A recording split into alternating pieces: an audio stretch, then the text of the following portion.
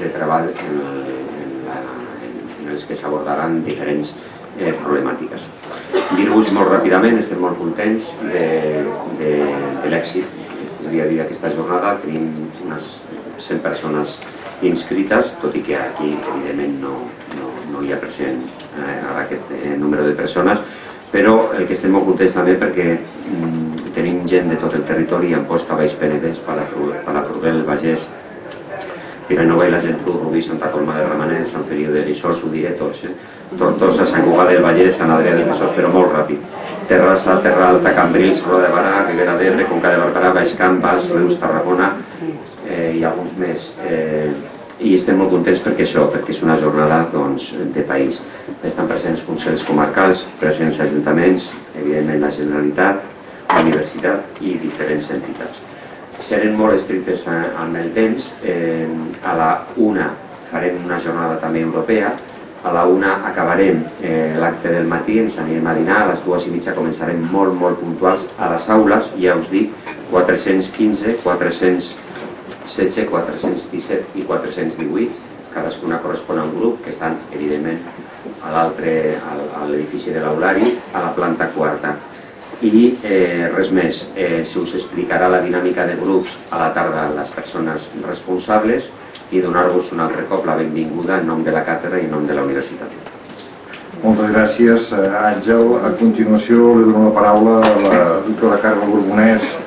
Aquí m'han posat directora honorífica de la càtedra d'Inclusió Social. Això honorífica. Eh? Ho, ho vau decidir en el seu moment l'equip rectoral i eh, sempre he estat molt, molt obedient a les faltes que s'han de la una mica de broma perquè la Carme i jo hem coincidit en èpoques en què els dos eren eh, vicerectors i hem estat molt atents amb l'equip de govern eh, intentant de créixer aquesta universitat. Per tant, per mi també és una alegria que vull compartir la taula amb ella en un tema com aquest. Carme, endavant. Gràcies, rector. Rector, secretari general, doctor Belfonelli, autoritats, amigues i amics com molt bé dit el rector, el rector eh, diguéssim, avui ens trobem aquí una sèrie de gent que durant molt temps hem treballat per fer realitat l'acció de la universitat a casa nostra i en particular a les terres a Tarragona i a les terres de l'Ebre, aquí hem tingut aquest compromís molt temps. De fet, la Càtedra d'Inclusió Social organitza aquesta jornada ja des de l'any 2011 i això és la voluntat sempre diguéssim demostrar aquest plantejament transversal que ha tingut des dels seus orígens aquesta càtedra. I en aquest, aquesta càtedra conflueixen per dir els resultats provenents de diferents camps de recerca universitària. Camps diversos i diversificats que permeten entendre, diagnosticar i aprofundir en el coneixement de les necessitats socials que presenta avui en dia la nostra societat. Té com a objectiu central la transferència de coneixement, coneixement que ha d'esdevenir resposta operativa en la praxi social, en concret orientant l'ampli espectre de les polítiques socials i innovant en els serveis socials. Tot això es vol fer amb una clara eh, decidida voluntat de servei públic, i en aquest sentit, doncs, la càtedra convenia i desenvolupa activitats i projectes amb entitats socials, amb administracions, ajuntaments, consells comarcals, el propi Departament de la Generalitat, i tot això ho fem amb l'objectiu, insisteixo, i amb la voluntat de contribuir a fer xarxa i sobretot a ser plataforma com som avui on conflueixin tots els agents socials.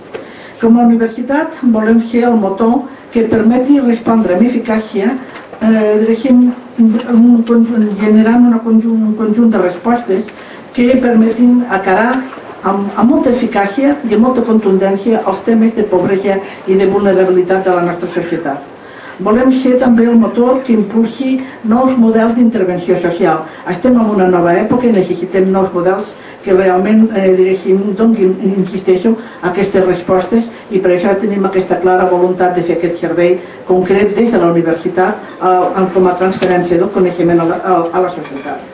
Amb aquest esperit s'ha desenvolupat també l'observatori que, feia, que comentava ara el senyor rector i sobretot també, diguéssim, amb aquest esperit d'observació i de, de diagnòstic i de dictamen, el que volem fer doncs, és fer aquest seguiment que se'ns ha encarregat i el senyor Belfonegui ara ho explicarà el doctor Belfonegui, realment que sabeu que tenim l'encàrrec de fer el seguiment del, del desplegament, per d'alguna manera, de la mesura número 164 que en el seu moment va aprovar al Parlament de, de Catalunya quan va fer el, plenari de la pobresa l'any 2015 i en aquest sentit doncs, nosaltres som per d'alguna manera aquells responsables de vetllar de com se desenvolupa tota aquesta activitat que en aquest moment tots els grups parlamentaris van decidir impulsar i que realment d'estar, s'ha de tindre cura, n'hi ha d'anar, diguéssim, veient què és allò que s'aconsegueix, què és allò que cal millorar i crec que en aquest sentit doncs, fer servei és una de les funcions de la nostra càtedra i em permetreu que com a, per diguéssim, la persona més senadora, com ho diu així,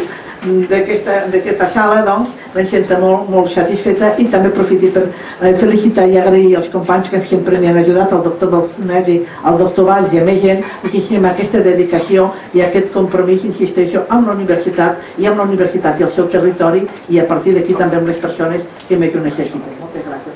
Moltes gràcies. Molt bé, a continuació, eh, avui tenim la, la sort i jo estic content de que ens acompanyi el secretari d'Afers Socials del Departament de Treball, eh, del Departament de, és Departament de Treball, Afers Socials i Famílies de la Generalitat de Catalunya. Eh, no us explicaré el que m'han explicat d'ell perquè li donava record una persona que treballa amb mi de l'època què érem estudiants revoltosos, perquè tots hem estat estudiants revoltosos. I precisament perquè hem estat estudiants revoltosos vol dir que eren persones preocupades pel futur. I això ho prova d'aquesta cosa que aquí, Francesc, que és una alegria que ens puguis acompanyar. Moltes gràcies, rector, gràcies per la seva amabilitat, efectivament.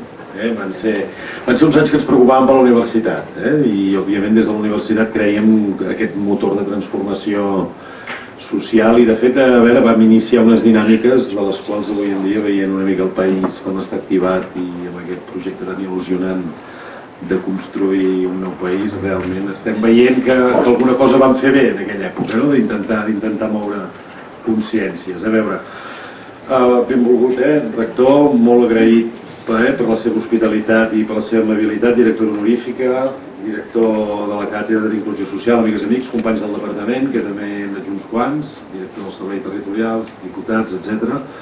La veritat és que és un goig eh, poder fer una jornada eh, important eh, per, al, per al futur, diríem, de les polítiques socials en aquest país. Mm, Deixeu-me fer una breu intervenció per agrair-vos l'assistència, per agrair-vos també la feina que ens ajudareu a fer al llarg d'aquesta jornada i que continuarem fent molt a, a partir d'avui.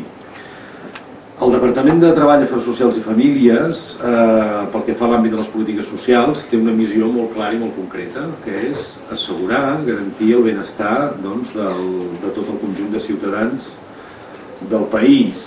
I el gran lema, el gran denominador comú a l'hora d'intentar garantir aquest benestar és assegurar l'autonomia de les persones, l'autonomia i un funcionament de, de les persones. Per fer-ho, i d'acord amb la llei marc que en certa manera ens regula, que és aquesta llei 12 barra 2007 de serveis socials, articula tot un conjunt de sectors, tot un conjunt d'àmbits eh, que intenta doncs, interrelacionar referir-se a tot un conjunt d'actors del sistema.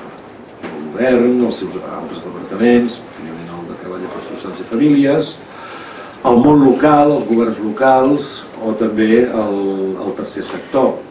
I a través de la planificació, l'atenció, la coordinació, l'atenció primària i la, diríem, especialitzada o secundària, mm, doncs intenta establir una, un sistema, diríem, de serveis socials. Efectivament, la lluita contra la pobresa i tot l'esforç per a la inclusió social de les persones doncs, és un element primordial com després tindrem ocasió doncs, de, de desenvolupar. Efectivament, un dels actors també, una peça que està contemplada en aquest sistema català dels serveis socials és l'àmbit acadèmic. I l'àmbit acadèmic a vegades no ha tingut encara potser prou presència o, o, o no ha estat a vegades, diríem, considerat com a peça prou estratègica i prou desencadenant en relació al sistema de serveis socials. I, per tant, des del Departament i des del Govern doncs, intentem i intentarem fer una aposta per la creació de coneixement, per l'avaluació de polítiques públiques, per la millora de la pràctica professional, per la millora dels models d'intervenció, perquè sense tot aquest conjunt d'elements capdals, eh, aquesta missió d'assegurar el benestar i de, i de, i de vetllar diríem, pel, pel funcionament i per l'autonomia de les persones doncs no, no ho podríem aconseguir. Clar, en aquest context d'intentar doncs, eh, reforçar aquest vincle entre el sistema de serveis socials, el govern i diríem, el món acadèmic és on tenim aquest marc de la col·laboració amb la Universitat Rovira i Virgili a través de la Càtedra d'Inclusió Social i l'Observatori Català de la Pobresa. I, per tant, com a braç acadèmic i braç tècnic doncs, de, de, de monitorització eh, d'aquest pla de lluita contra la pobresa i per la inclusió social a Catalunya que fins ara doncs, ha tingut, diríem, dues edicions bianuals, no? la, la del 14-15, més o menys, i la del, i la del 15-16. Eh? Clar, la jornada d'avui perquè és molt important pel govern, perquè és molt important per nosaltres, perquè, clar, iniciem amb la presentació dels informes un procés de revisió en la implantació del pla i el que volem doncs, és començar a treballar en l'orientació de futur i per tant de com som capaços doncs, de produir eh, noves eines, nous mecanismes i noves respostes eh, al conjunt de canvis doncs, que s'estan produint.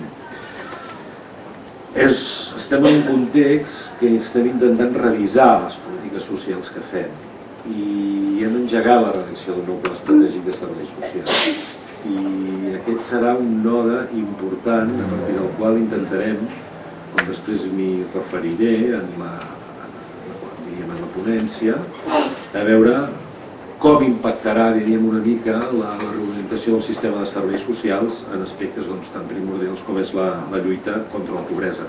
Per això avui, el, la jornada d'avui la fem en dues parts, fem aquesta primera part, òbviament, d'exposar de, eh, l'evolució dels indicadors de pobresa, l'anàlisi de les actuacions del pla, una mica fem aquesta tasca de presentació i avaluació, i a l'hora de la tarda eh, aquests grups de treball interactius doncs, eh, és una peça clau, molt important doncs, per afinar diagnosis, per començar a elaborar propostes, per començar doncs, una mica eh, a poder cohesionar, diríem, una sèrie d'eixos que seran claus per definir les intervencions del futur.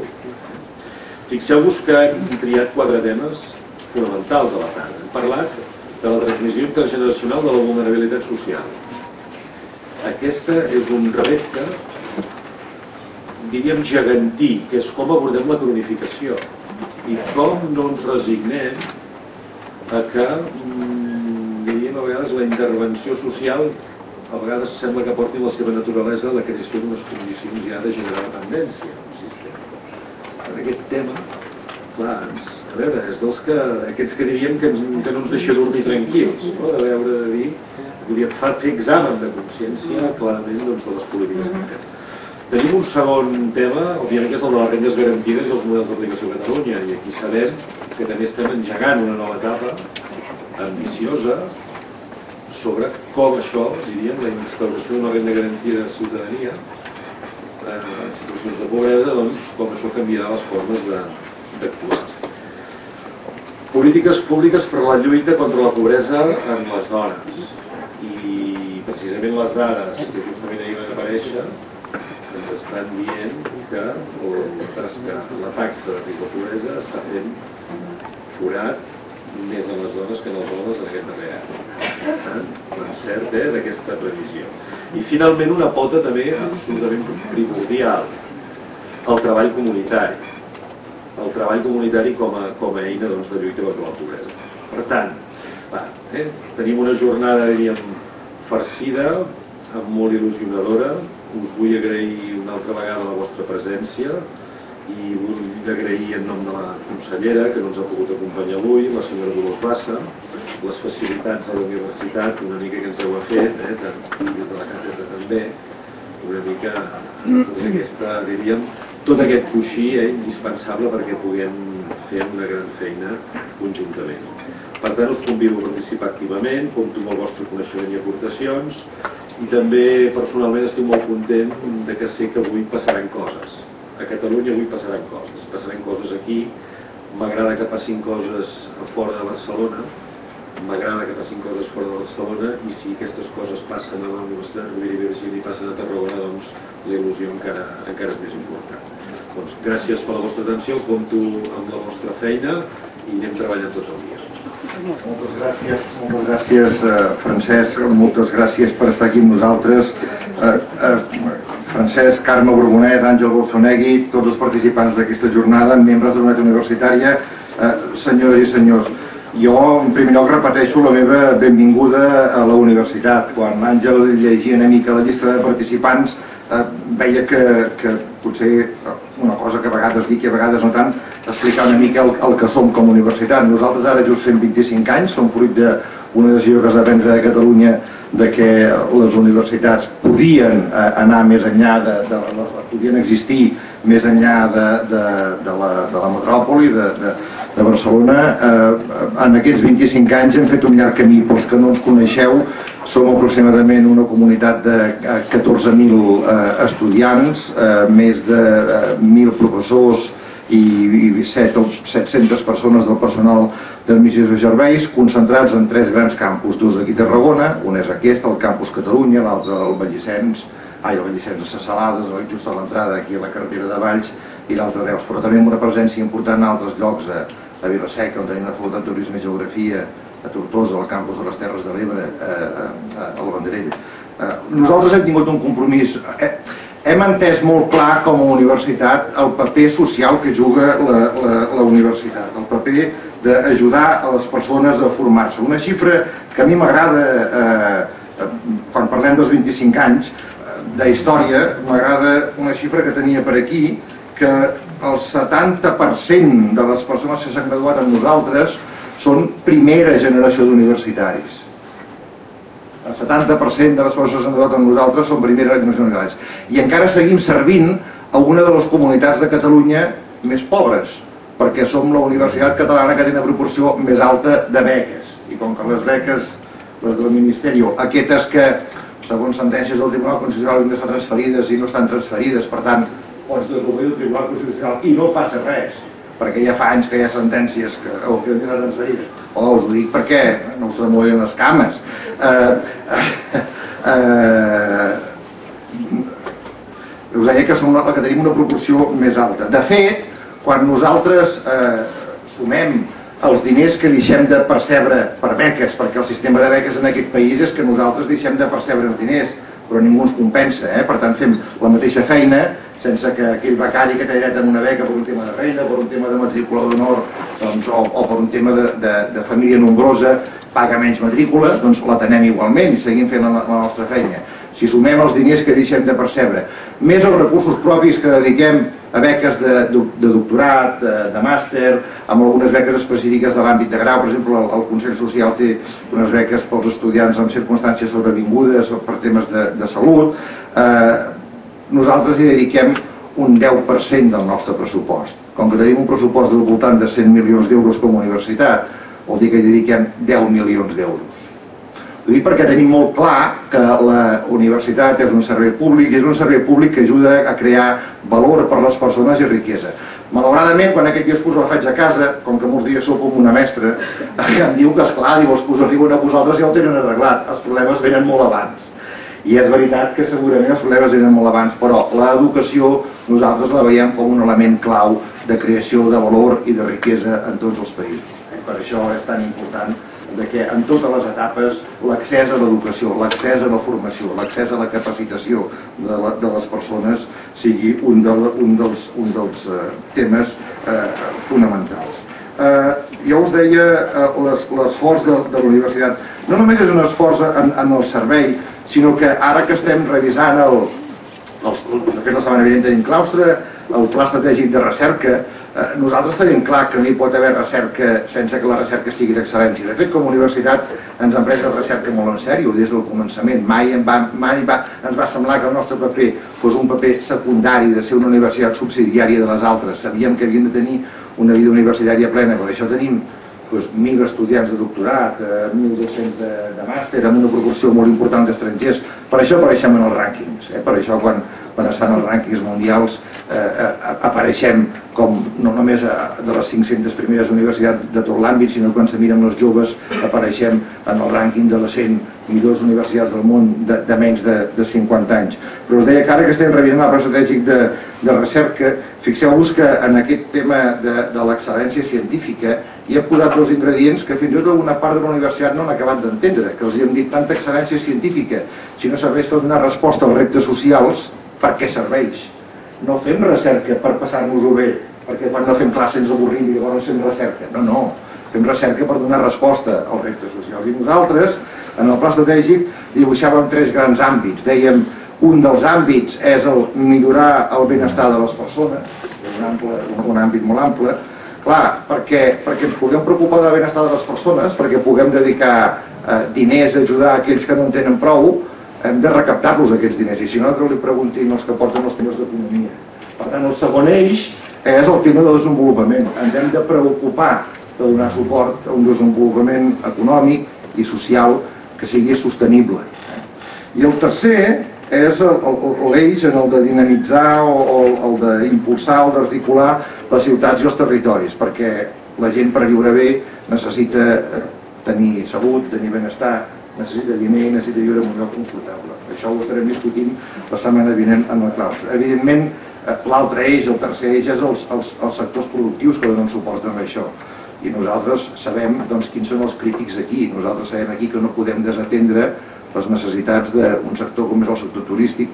Després vaig a un acte al Parc Científic de Turisme a Vilaseca, però també el, sector químic, també l'enologia, sabeu que ha estat una de les apostes que han fet nosaltres claríssimament i que ens ha articular tot, tot, eh, tot un territori. O bé allò que ens ve, que és el que, el que es pot englobar dintre de l'àmbit de, de l'economia digital, que té moltes coses bones, però que fins i tot pot ser un dels factors de risc d'engrandir de, de l'escletxa entre els que tiren endavant i els que es queden enrere. Perquè algú en algun fòrum que algunes vegades se n'ha parlat, diu les grans, dic, no, si és clar, dic, això et permet córrer més, però el que, eh, el que, el que no tant. Malgrat tot, el, el, el, el tema digital, fixeu-vos que eh, en, en alguns països que recordo que hem visitat, que estaven en vies de desenvolupament, ens deien que eh, el fet, com que al final hi ha més telèfons que no pas ordinadors, veien l'utilització dels mòbils com una via d'arribar i de fer arribar informació o informació en llocs on mai s'havien pogut plantejar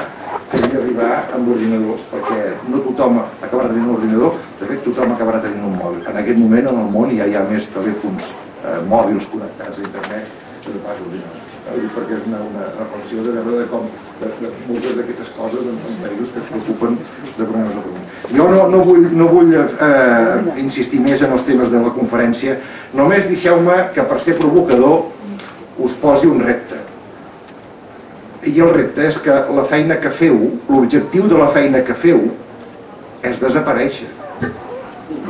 L'objectiu de la feina que feu és desaparèixer perquè no sigueu necessaris jo sé que això és molt provocador perquè a vegades ho dic en altres àmbits, eh? però l'objectiu l'objectiu de, de feines com aquesta, i enteneu-me en el sentit que ho vull dir, és de que cada vegada sigui menys necessari que ens hàgim de preocupar d'aquelles persones que no són capaces de sostindre's autònomament perquè hàgim creat un entorn on tothom trobi una oportunitat per sostindre's i per ajudar-se i ajudar-nos entre tots perquè tots necessitem l'ajut de, tots. Per tant, amb aquesta idea provocadora, quan es preguntin en què treballeu? Amb una professió que té ganes d'extingir-se, perquè sigui necessària, perquè no calgui. I això és, crec que ha de ser el compromís que hem d'assumir entre tots d'ajudar a tothom a que pugui guanyar aquest, aquest, aquest pas, pugui guanyar eh, aquesta capacitat de ser una, un ciutadà eh, com, com tots nosaltres i mentre no se sostingui per si sol, doncs eh, haurem de fer el que estem fent. I jo us agraeixo molt que esteu fent aquí, la feina que esteu fent avui treballant-ho, i estic molt content que des de la universitat ho puguem acollir. Per tant, moltíssimes gràcies i sense més preàmbuls comencem amb, el, amb la jornada. Moltes gràcies.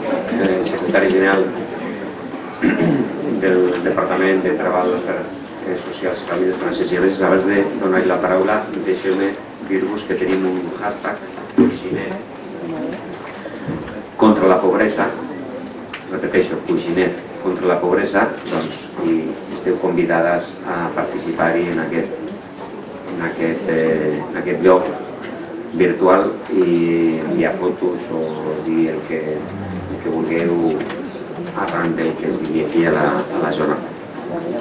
Bé, doncs, eh, un altre cop agrair la presència del secretari general i les facilitats que hem tingut per, per que pugui venir aquí a Tarragona i, i donar la paraula per fer la, la seva intervenció. Molt bé, moltes gràcies, doctor Galfonegui. Eh, intentaré fer una exposició d'anàlisi reptes en els quals encarem, diríem, l'acció del departament i projectes de futur en relació a la protecció social i concretament a la, a la pobresa i a la inclusió. El 25 de setembre de 2015 l'Assemblea General de Nacions Unides va aprovar la resolució que, portava, que porta per títol Transformar el nostre món, l'agenda 2030 per al desenvolupament sostenible. Per tant, a nivell, diríem, eh, en aquesta instància de governança mundial s'ha posat un llistó en relació al qual celebrem aquesta crida a desenvolupar respostes nacionals ambicioses per implementar una nova agenda que es planteja erradicar la pobresa de tot el món en totes les seves formes eh, i també conceptualment vincula pobresa i lluita contra les desigualtats i això conceptualment també és un pas important en el qual doncs, com a el govern, com a govern de Catalunya doncs, ens hi sentim molt interpel·lats. De fet, el govern també ja desenvolupa eh, tota una acció, diríem, d'implementació d'aquesta agenda eh, a través del Departament d'Exteriors, el Consell Assessor pel Desenvolupament Sostenible i, i tot un conjunt de departaments. La pregunta és com des del govern podem millorar la lluita contra la pobresa i com podem desenvolupar una acció integral per a la inclusió social, com podem doncs, lluitar per aquestes desigualtats. D'entrada se m'acuden tres possibles respostes, seguint un marc, un marc lògic, diríem, d'anant del general, començant pel general. El primer, el primer com a govern és dotar-nos de les eines necessàries. I eines necessàries vol dir ser capaços com a país de de disposar de tots els recursos disponibles, econòmics fonamentalment, però per altra banda necessitem les competències, necessitem competències, recursos competencials per tal de poder fer possible doncs, el desenvolupament d'estratègies. De, Aquesta eina, control dels recursos i disposició de competències, que és la primera gran necessitat per la qual doncs, el govern treballa, és el que podem anomenar República Catalana com un instrument eh, que pugui realment construir una igualtat d'oportunitats efectiva, avançar en l'equitat, en la justícia social, etc.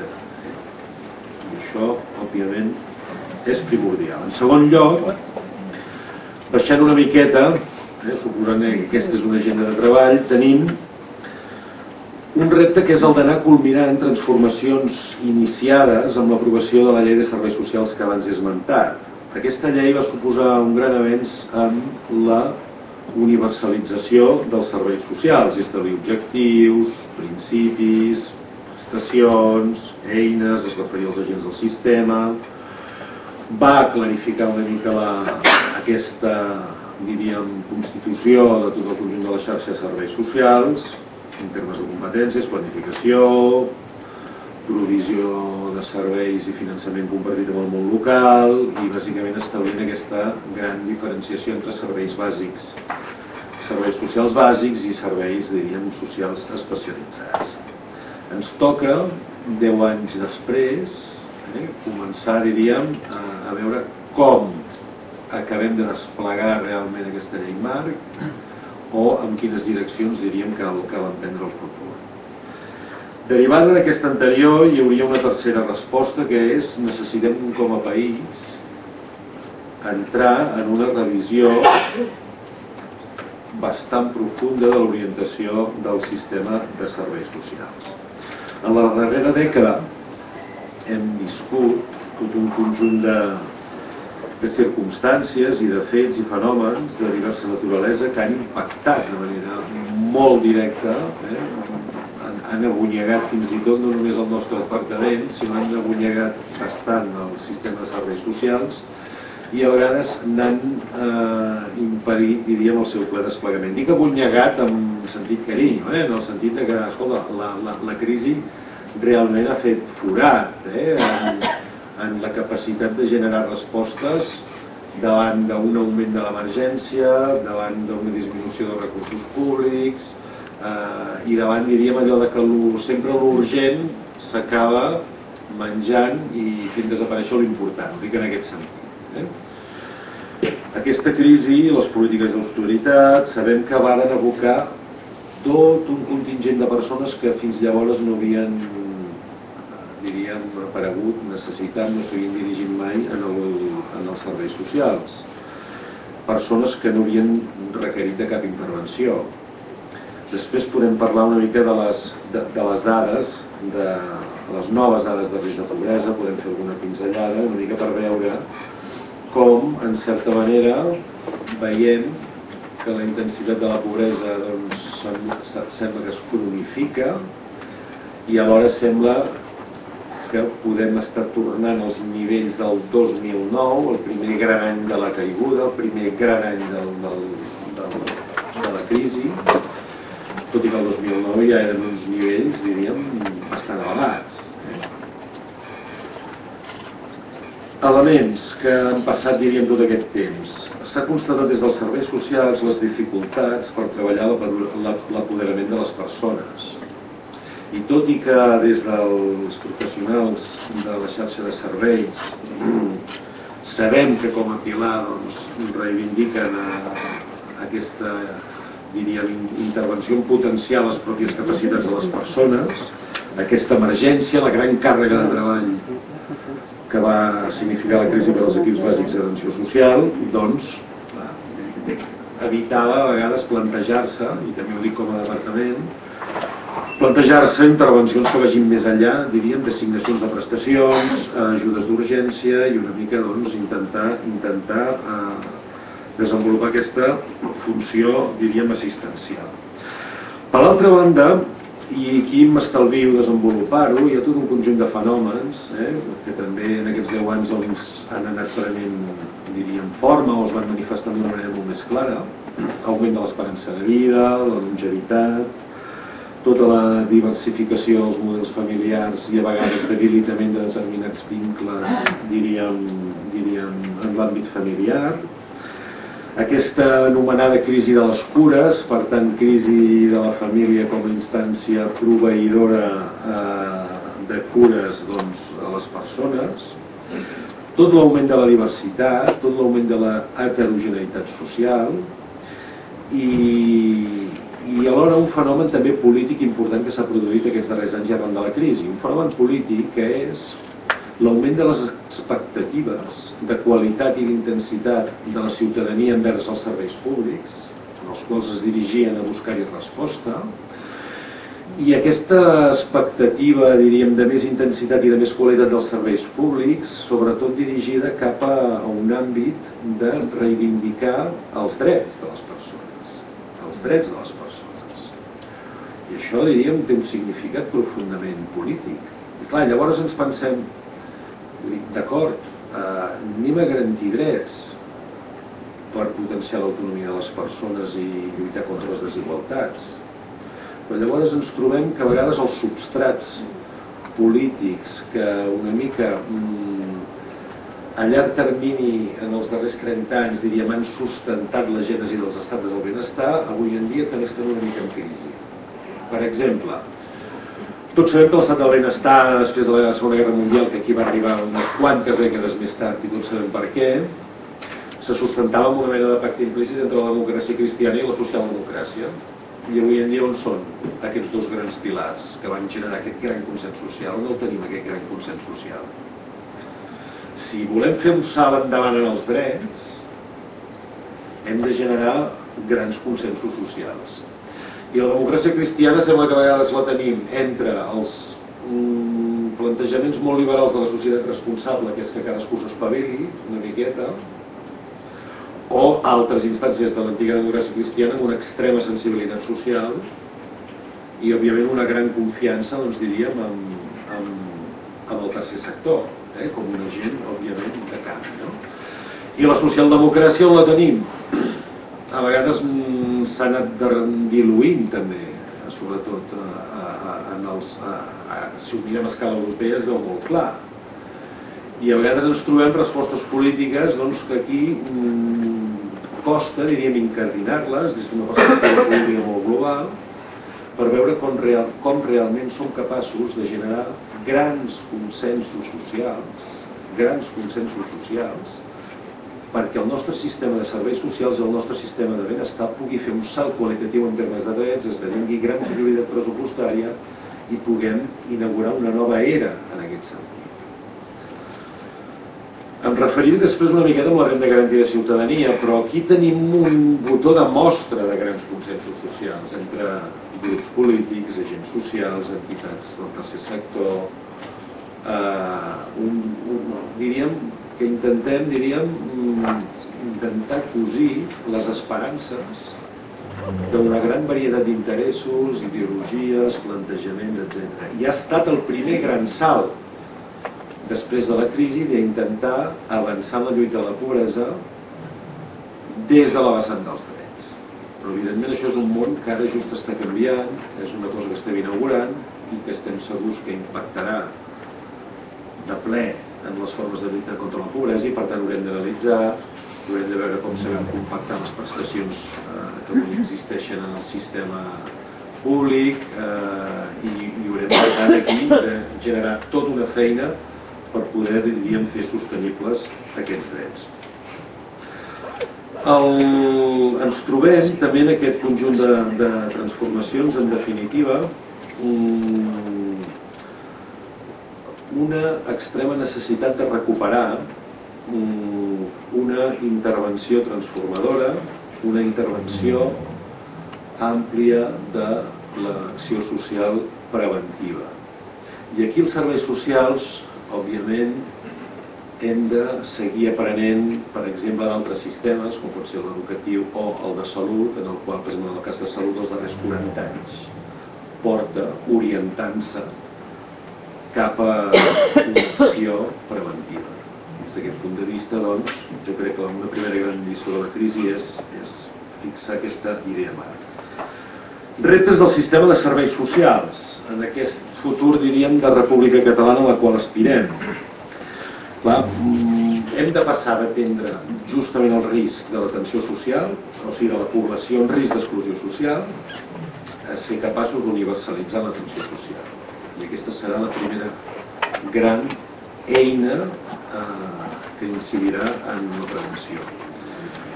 Ens cal imprimir una visió absolutament primarista primarista de l'atenció social. Avui en dia, de cada 10 euros que invertim, 9 van a l'atenció especialitzada i en prou feines un va a l'atenció la, social primària i, per tant, diríem, eh, en, en el territori. Ens cal també invertir el pes, per tant, d'una intervenció social pal·liativa a una preventiva, fomentar l'atenció comunitària, envelliment actiu, interacció social i sanitària i, per tant, saber-nos, diríem, eh, coordinar amb, amb, els altres, amb els altres sistemes. Això com som capaços de fer-ho? Som capaços de fer-ho si sabem reorientar l'acció especialitzada dels serveis socials cap a donar suport en aquesta primària per tal de convertir una atenció primària potent i resolutiva. I òbviament tot això eh, va per la, per la pobresa i per la, i per la inclusió social. Dues coses més o dos reptes més. El primer és la intervenció comunitària. Aquí hem de ser capaços de, de passar el que és l'atenció a la persona concebuda com a individu a mm, ser capaços d'intentar concebre primer la família com unitat d'intervenció per si mateixa, entenent família d'una manera molt àmplia com a vincle, com a unitat de convivència. I aquí, si em permeteu, m'agrada dir allò que a vegades és molt millor un veí a la porta que un cosí a Mallorca. Eh? Parlo de família com unitat de convivència, unitat de relacional. Treballant aquest vincle, si aquest vincle és sa, doncs la, la, el, la performance de les persones, aquest funcionament de les persones, doncs, òbviament millora. I treballar amb aquesta visió de la família entesa d'aquesta manera és el que ens aboca, diríem, a les relacions socials, al teixit, a la comunitat, a la intervenció, diguem-ne, comunitària.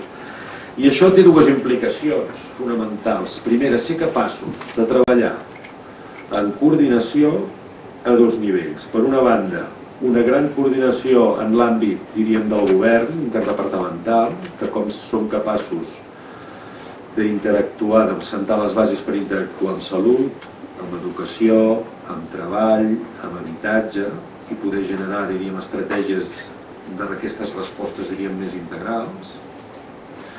I per l'altra banda, una coordinació fonamental amb el tercer sector i amb l'activitat la, amb primària. O sigui, com som capaços, des de la intervenció comunitària, de cohesionar tot l'ecosistema d'associacions, entitats, fundacions, cooperatives, etc. Tot, tot el món del tercer sector i tot el món que vol exercir la responsabilitat social corporativa, com som capaços d'enxarxar-lo amb la comunitat. I no només em refereixo a entitats de lluita contra la pobresa, eh?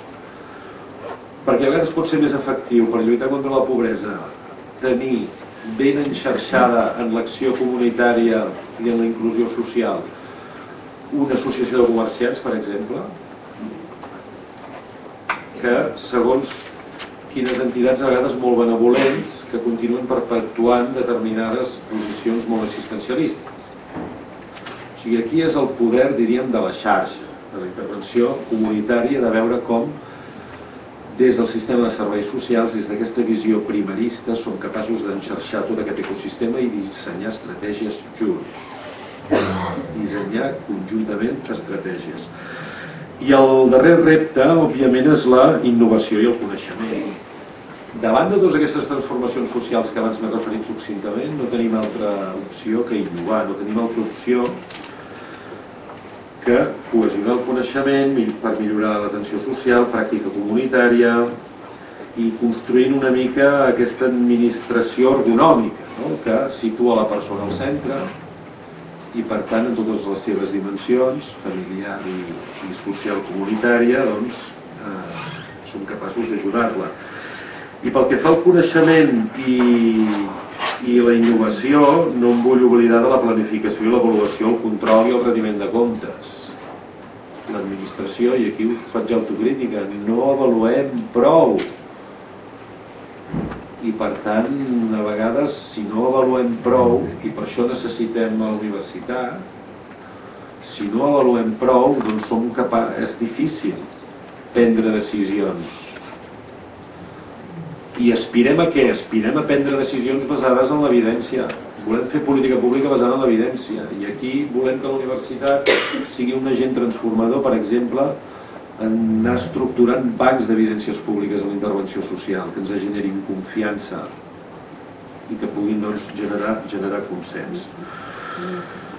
Clar, malgrat tot aquest conjunt de reptes, eh, aquests quatre que us he dit, universalització de l'atenció social, visió primarista i situar la prevenció com, a, com el gran element, intervenció comunitària i coneixement, això requereixen canvis i transformacions a mig i llarg termini i alguns d'ells ja els hem començat a construir i vaig acabant.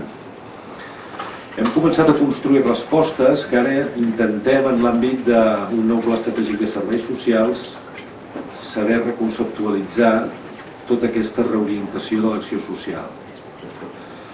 Per exemple, en el contracte programa 2017, i ho anunciarem en el seu moment, estem treballant per augmentar la dotació de professionals de les àrees bàsiques de serveis socials.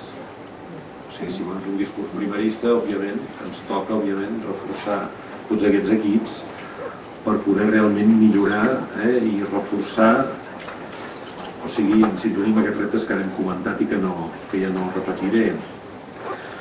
Per exemple, estem treballant en el marc del PIAIS per ser capaços d'identificar tots els usuaris del sistema de serveis socials en base, en base a un codi eh, d'identificació personal com el que utilitza Salut i d'aquesta manera tenir les bases tècniques necessàries per poder interoperar amb sistemes d'informació i, per exemple, poder eh, entrar en processos reals d'estudi de la compactació de prestacions en una família. Perquè a cegues no podrem compactar amb cap bon criteri. Per tant, estem treballant doncs, també en aquest reforçament dels sistemes d'informació. Pel que fa a la pobresa ja més específicament parlant, mentre tenim el pla, l'avaluem, l'analitzem, és obvi que l'administració tampoc pot quedar aturada i vam engegar dues línies específiques que responen a fenòmens més nous, amb casuístiques concretes, com és el sensellerisme, com és la pobresa energètica. Són dues línies de treball específiques que afecten a una part de, del problema i aquí es tracta doncs, d'innovar, per exemple, en situar models d'intervenció com el Housing First, tastar-lo, a veure com a Catalunya som capaços d'implementar aquest model, aquest mecanisme, o bé, per exemple, en pobresa energètica, com som capaços també d'intervenir les llars, entrar en la capacitació, entrar, diríem, en, en com som capaços de portar eines capacitadores a les pròpies famílies perquè puguin reduir el problema de la pobresa energètica i no només estiguem fent aquella feina de pagar factures. Per exemple, en la prevenció, s'han produït recentment dues fites, bueno, una fita que està molt més avançada i una altra que és incipient. El desplegament dels models d'intervenció socioeducativa en la infància i l'adolescència.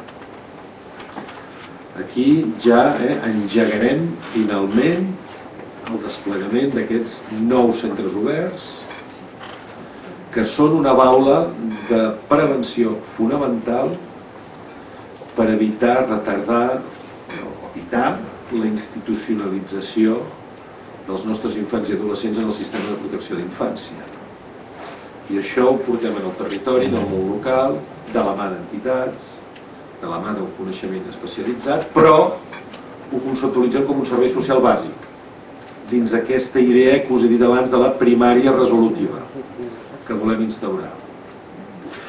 Un segon exemple, breu, el SOAP, Serveis d'Orientació i Atenció a Famílies. Aquí es tracta de situar una baula molt preventiva quan encara el risc en prou feines existeix o és molt lleu.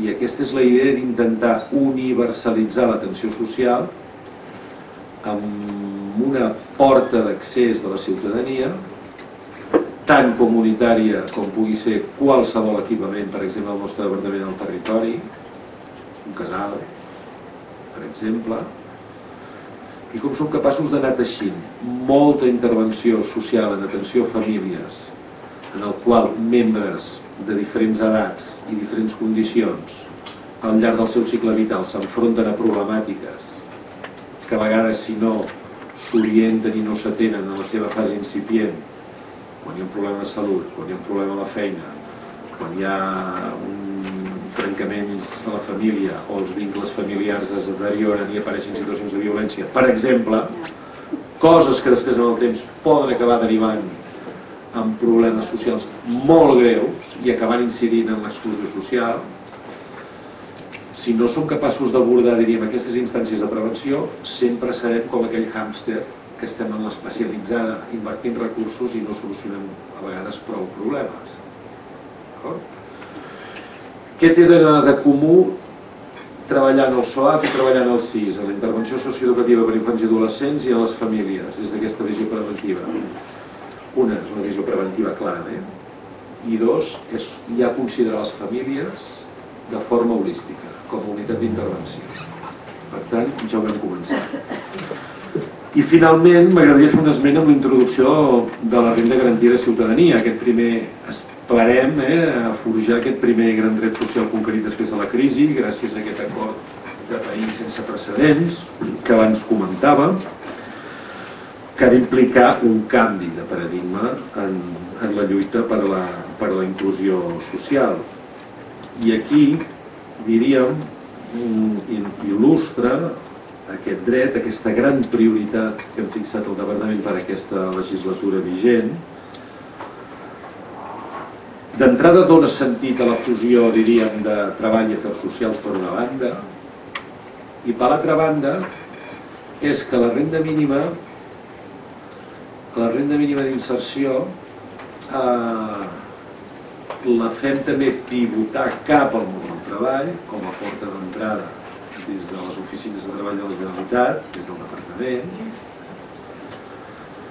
i amb la qual cosa, diguem-ne, no ens volem resignar, no ens resignem a la cronificació, a acceptar que hi ha un X% de població inútil des d'un punt de vista funcional per al mercat de treball.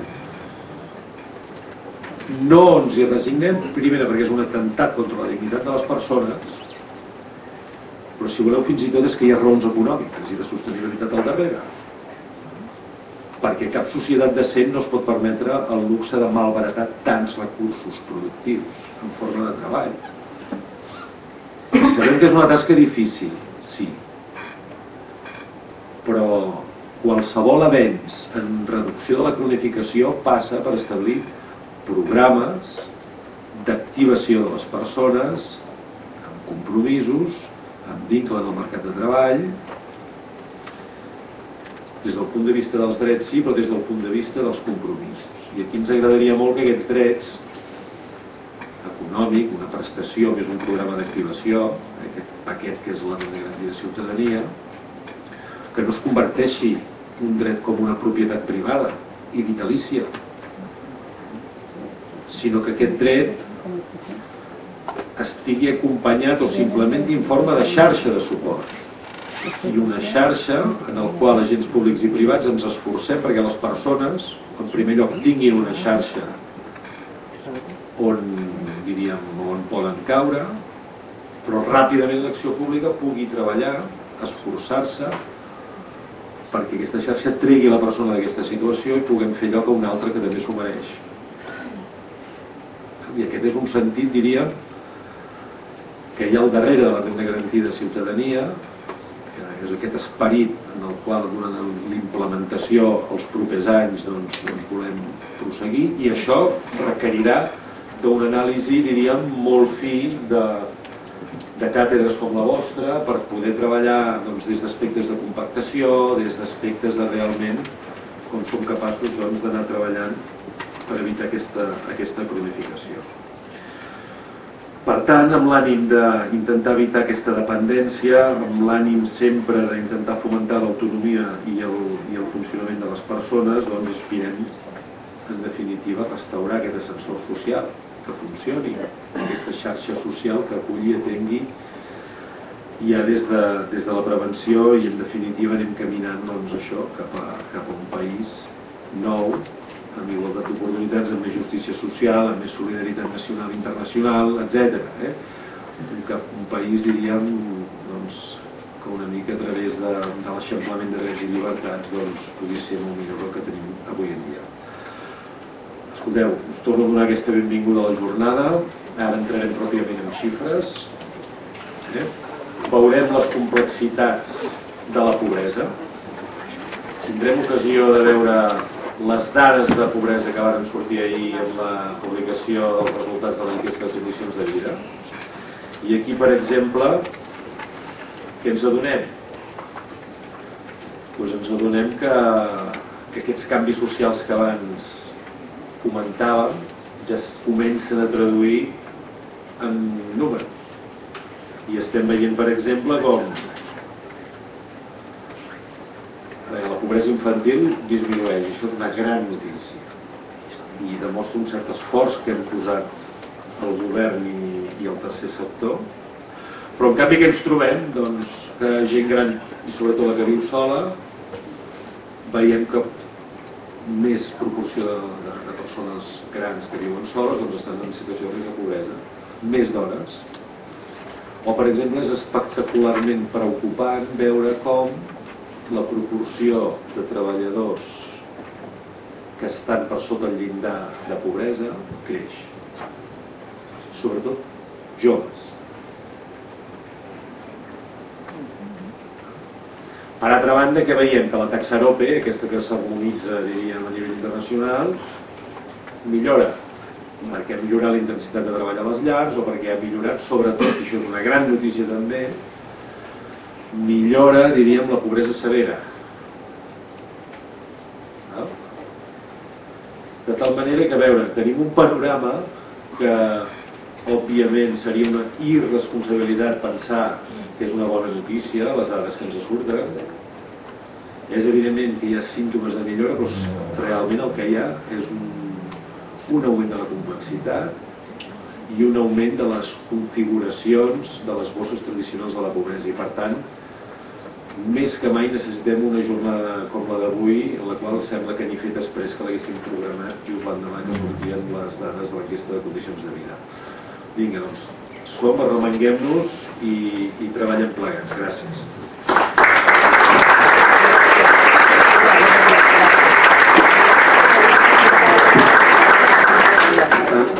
Moltes gràcies, eh, secretari, per posar-nos al dia de les coses que està fent el, el govern. Eh, de fet, de les paraules del, del secretari eh, derivar una acció que està a camí entre la redistribució i la predistribució. Jo crec que això ho abordarem també després en la, en, en, en la, en la, quan abordem l'anàlisi la, de, de, del pla de lluita contra la pobresa, en els que veurem doncs, com hi ha moltes de les accions programades pel govern de la Generalitat, pels diferents departaments, no eh, escapen exclusivament de la lògica eh, redistributiva per instal·lar-se en un nou enfocament, una nova lògica, que és la lògica eh, redistributiva a la qual d'alguna manera feia referència el secretari. Abans de parlar de tot això, eh, agrair novament al secretari la seva presència i la seva conferència i ara donem pas a eh, la presentació del primer informe que ha fet l'Observatori de la Pobresa, la Vulnerabilitat i la Inclusió Social a Catalunya, que com ha comentat abans la doctora Carme Borbonès, és un observatori creat, conveniat entre el Departament de Treball, Afers Socials i Famílies i la Universitat de Virgili, en concret amb la càtedra, i en el qual hi participen tècnics de la, del propi Departament de la Generalitat i eh, investigadors de la, de la Universitat Rovira i Virgili, entre els quals està Francesc i eh, Victoria Fons i algunes persones més que, estem, que estan per aquí.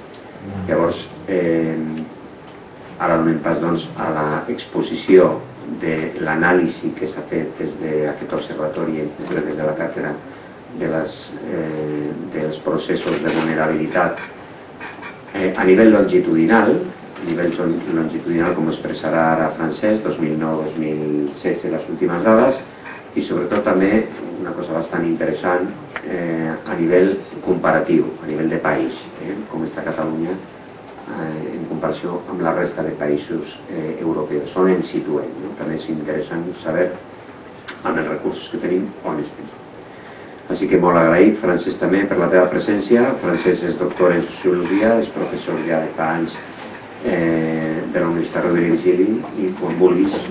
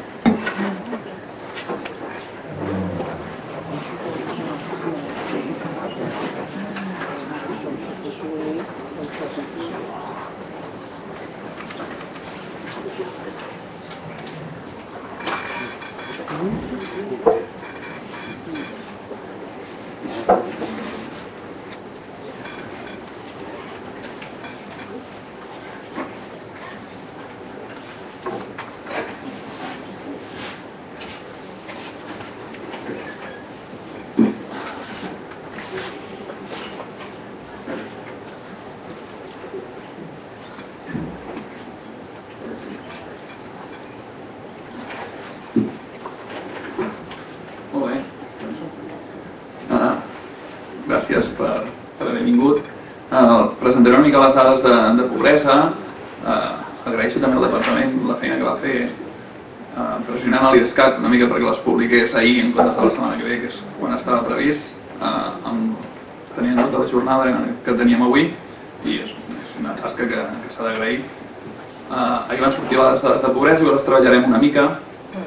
Uh, no m'agrada centrar l'anàlisi de la pobresa només en les dades quantitatives, com farem avui, però entenc que la jornada queda molt ben complementada, perquè ara veurem eh, la part més quantitativa, els números freds, que o sigui, no m'agrada convertir persones en números i una realitat com la pobresa, però després eh, que prendreu el protagonisme de eh, vosaltres, entenc que li donarem aquest, eh, aquest complement necessari més, més qualitatiu, més de, del treball del dia a dia que, que coneixeu. La presentació està estructurada en, en sis apartats. Primer farem una valoració global de eh, la disponibilitat de renda de la població, volum de renda i eh, com es distribueix aquesta renda, si som un país eh, equitatiu o no. Eh, després entrarem a, a la part nuclear, a aquest apartat 3, el test de pobresa a Catalunya, de pobresa monetària. Abordarem després quins són els perfils més, més afectats de pobresa, l'impacte que tenen les prestacions socials en termes de reducció de la pobresa a Catalunya i finalment alguns altres indicadors de vulnerabilitat per no quedar-nos només en la dimensió més monetària econòmica.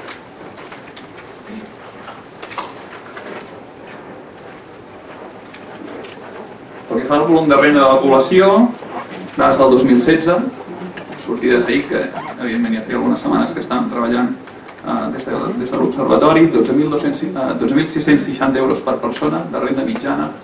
A Catalunya, 31.339 euros per llar.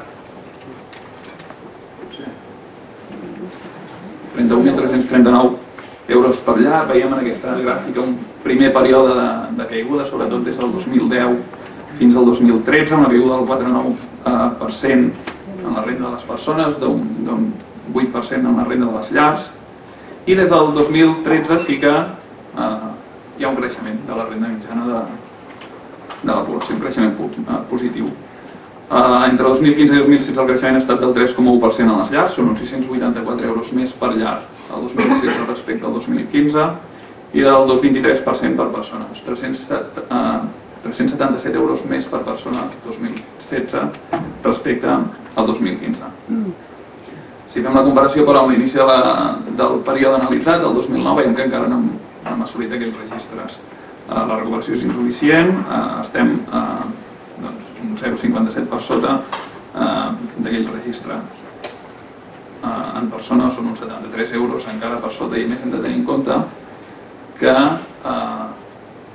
parlar de renda no, no contempla tampoc parlar de poder adquisitiu o sigui, incorporéssim l'efecte de l'índex de preus al consum, eh, no estaríem just per sota, sinó que estaríem una mica més per sota de, del 2009. Farien falta el 2016 una renda d'uns 14.070 euros per persona i uns 36.500 per llar per assolir registres de 2009 actualitzant eh, amb l'IPC, és a dir, uns, uns gairebé uns 1.500 euros per persona i uns, uns 5.000 euros per allà per assolir aquell índex eh, pel que fa al poder adquisitiu.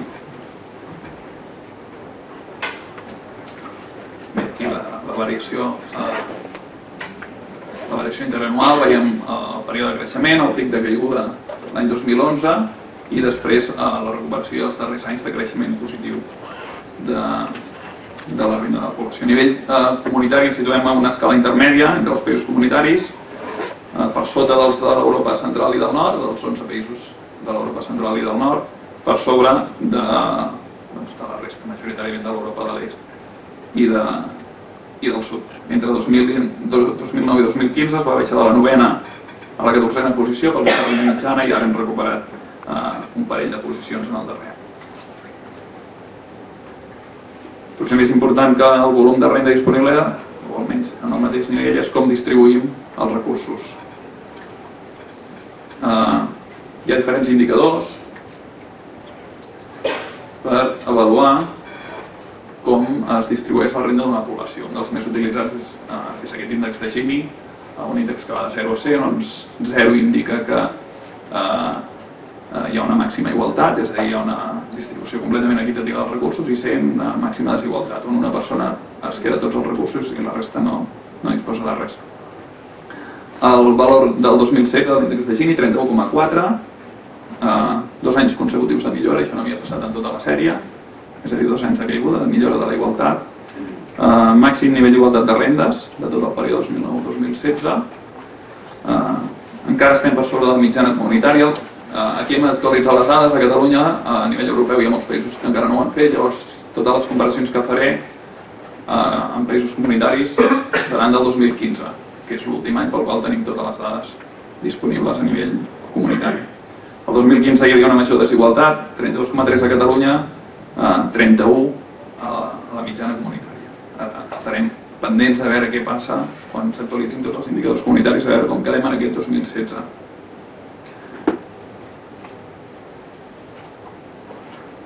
Aquesta altra gràfica d'aquí el que intenta és eh, veure quina part de rendes queda cada decil de població. El que seria tot el quadrat és la renda total disponible de Catalunya i llavors hem ordenat la població en 10 trams del mateix número de persones. És a dir, els 7 milions eh, i escaig de, de persones catalanes, doncs dividides en, en 10 grups iguals en funció de la renda. 10 grups exactament iguals a nivell numèric. Llavors mirem quina renda es queda cadascun d'aquests grups. Com podeu veure, la major part de la renda se la queda a, a aquest decil 10,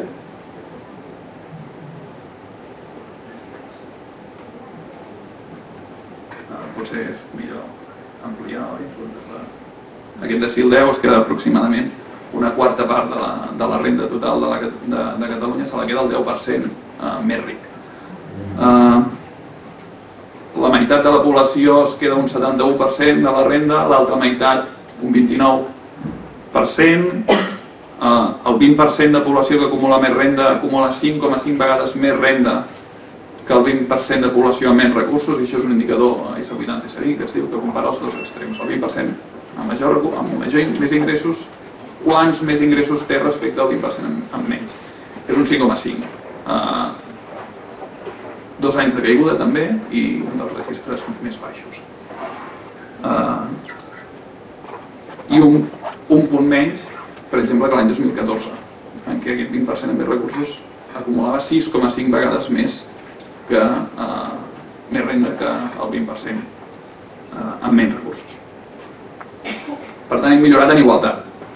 Ara hem anat millorant en els darrers anys pel que fa volum, però també hem millorat en redistribució de la renda. Sobretot, ja us dic, focalitzada en aquests dos darrers anys. En el context comunitari, eh, diguem que el que ha passat, ja us dic, dades fins al 2015, és que la població amb més ingressos a Catalunya no és especialment rica, pel que fa eh, no només en comparació de números absoluts, sinó també en la proporció de renda que acumulen dins de Catalunya. No és especialment rica en el context comunitari. Eh, aquests decils superiors en el context comunitari acumulen algunes dècimes més de proporció total de la renda. El que serien els decils centrals eh, acumulen una mica més de renda a Catalunya que la mitjana comunitària i on hi ha la diferència són els decils inferiors, que sí que, a l'espera de veure què passarà el, el 2016, que aquí els resultats han millorat, fins al 2015 sí que els decils inferiors, la població amb menys recursos, disposava de menys recursos també en la comparativa eh, comunitària. És a dir, el problema de la desigualtat es focalitzava sobretot en la població, precisament, que és el nostre àmbit d'intervenció, aquesta població amb menys recursos.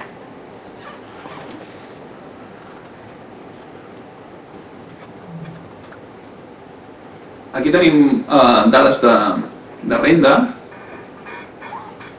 renda mitjana pels, pels diferents perfils. Eh, anys 2009-2016, eh, 2009-2015 a l'esquerra i 2015-2016 a la dreta. He dividit, és la mateixa gràfica, però està dividida perquè veiem perquè puguem veure més clarament el canvi de tendència. Eh, les barres ens indiquen la renda mitjana de cadascun d'aquests decils, d'aquests 10 grups de població ordenats, eh, la primera columna 2009, la segona 2015, i la línia el que ens indica, que suposo que és el que ens interessa més, és la variació entre 2009 i 2015, la variació percentual. I què veiem? Eh, generalment, tots els decils entre 2009 i 2015 van perdre renda, van tenir una caiguda de, de la renda mitjana i, a més, eh, aquesta caiguda va ser regressiva, és a dir, va afectar sobretot a la població amb menys recursos. Eh, la crisi, per dir-ho així, es va concentrar a nivell econòmic en la població que hi ha al punt de partida i a partir de menys recursos econòmics. Aquest decil 1, el 10% de població amb menys ingressos, va tenir una caiguda dels ingressos d'un 20% entre 2009 i 2015. I veiem com a mesura que augmentem, excepte el decil 10, eh, que és una excepció, la resta de perfils, a mesura que anem eh, augmentant el decil de renda, aquesta caiguda eh, va disminuint.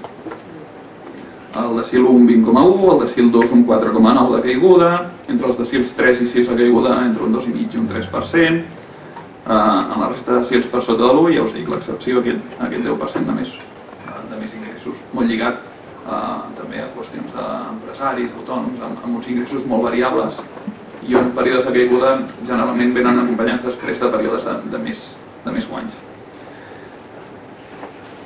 Això fins al 2015. I el darrer any què ha passat?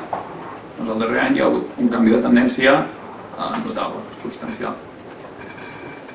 Tots els decils que veiem que havien perdut renda entre 2009 i 2015 ara han guanyat renda en aquest últim any i hem convertit, s'ha convertit la tendència regressiva a una tendència progressiva, per la qual els decils eh, amb menys ingressos en aquest darrer any són els que han augmentat més percentualment eh, la seva renda mitjana. En els extrems, és a dir, tot i que s'hagi recuperat tant els ingressos entre aquests primers decils, sobretot l'1 i el 2, encara no estem assolint els registres del 2009, eh, per poc, però encara no, s'han assolit. Si es, si es continua aquesta tendència, d'aquí poc ja s'assoliran. Eh, en els extrems superiors tampoc s'ha acabat d'assolir i en els eh, decils mitjans, en les capes centrals, sí que ja s'ha superat eh, la renda del, del 2009. 6 dels 10 decils disposen d'una renda eh, superior al 2009. Bàsicament els, centrals. Per tant, primera conclusió, millora la disponibilitat de renda i millora la distribució en termes eh, d'equitat. Quin impacte té això sobre el risc de pobresa monetària, amb algunes dades que ja ha avançat el secretari.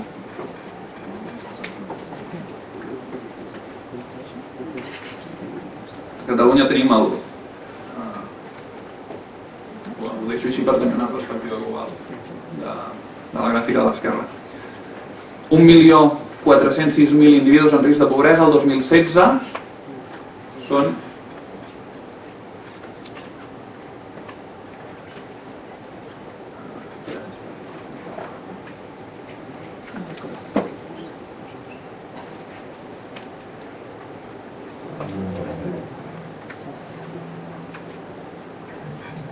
Bé, disculpeu, tampoc domino molt el, el ratolí. 1.406.000 eh, persones en risc de pobresa el 2016, el que representa un 19,2% del total de població. De cada 100 persones, 19,2 es troben per sota del llindar de pobresa. Eh, una tendència a la baixa, fixeu-vos si ho comparem, el que us dic, eh, la millora en els dos darrers anys també ha tingut impacte en termes de pobresa. L'any 2014 1.538.000 i ara 1.406.000. Són eh, unes 132.000 persones menys en dos anys i 1,7 punts percentuals. És el segon any un registre més baix de població en risc de pobresa, després justament precisament de l'any passat, del 2015, i el tercer perquè fa el percentatge, després del 2015 i del 2010.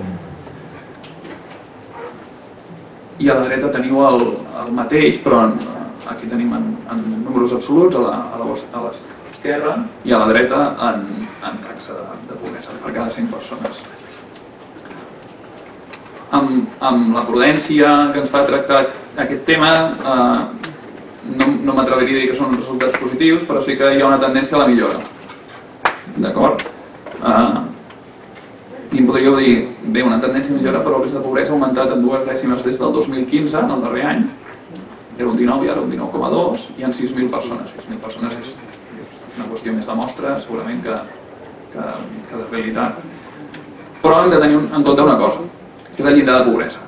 Uh, el llindar de pobresa és la frontera que marca uh, qui està per sobre del llindar uh, no estarà en risc de pobresa i qui està per sota, segurament ja ho sabeu, uh, sí que es considera en risc de pobresa. Doncs aquest llindar de pobresa entre 2015 i 2016 ha crescut a Catalunya un 4%. Que augmenti el llindar és bo? Sí, és bo perquè indica que la renda del conjunt de la societat ha augmentat. Això fa augmentar el llindar. Que té riscs? També, perquè té el risc a nivell de números de que si augmenta el llindar també augmenti el volum de població que passa a estar per sota d'aquest llindar. Si la frontera augmenta, possiblement quedarà més població per sota. El llindar ha augmentat un 4% i el número de persones situades sota d'aquest llindar, d'aquest llindar només ha augmentat en dues dècimes. Per tant, són uns resultats que apunten a una tendència a la millora. Uh, M'agrada també comentar, comparar amb, amb períodes anteriors, uh, altres anys on havia augmentat el llindar, com ara, com el 2016, van ser uh, 2012 i 2014. En aquests dos anys, 2012 i 2014, on també va augmentar el llindar, doncs el, risc, el número de persones en situació de pobresa va augmentar en unes 75.000 persones un any i en unes 80.000 l'altre any. I percentualment, eh, un punt percentual i 1,1 punts eh, percentuals. I de fet són els dos anys, aquests d'aquí, que si us hi fixeu, s'assoleixen els registres màxims de pobresa. Augmentava el llindar, però augmentava també la desigualtat i en conseqüència eh, augmentava el número de persones que queien per sota d'aquell llindar. Els dos anys anteriors en tota la sèrie on havia augmentat el llindar eren els anys màxims de risc de pobresa. El tercer any on passa això és aquest. I s'ha aconseguit frenar aquesta tendència molt clarament. Els altres anys, 2010, 13, 15, eh, el risc de pobresa va caure a Catalunya. El que a priori podria interpretar-se com una millor tendència que la del 2016 on el risc de pobresa ha augmentat una mica, però en aquests anys, 10, 13, 15, eh, clar, hi havia com una trampa, que és que el llindar havia caigut molt. Si el llindar cau, si la renda del conjunt de la societat cau, hi ha població que tindrà més fàcil, amb la mateixa renda de l'any anterior, sortirà de la pobresa, perquè el llindar el s'haurà sobrepassat. I ens queda un any que és el 2011, amb una evolució similar perquè fa a població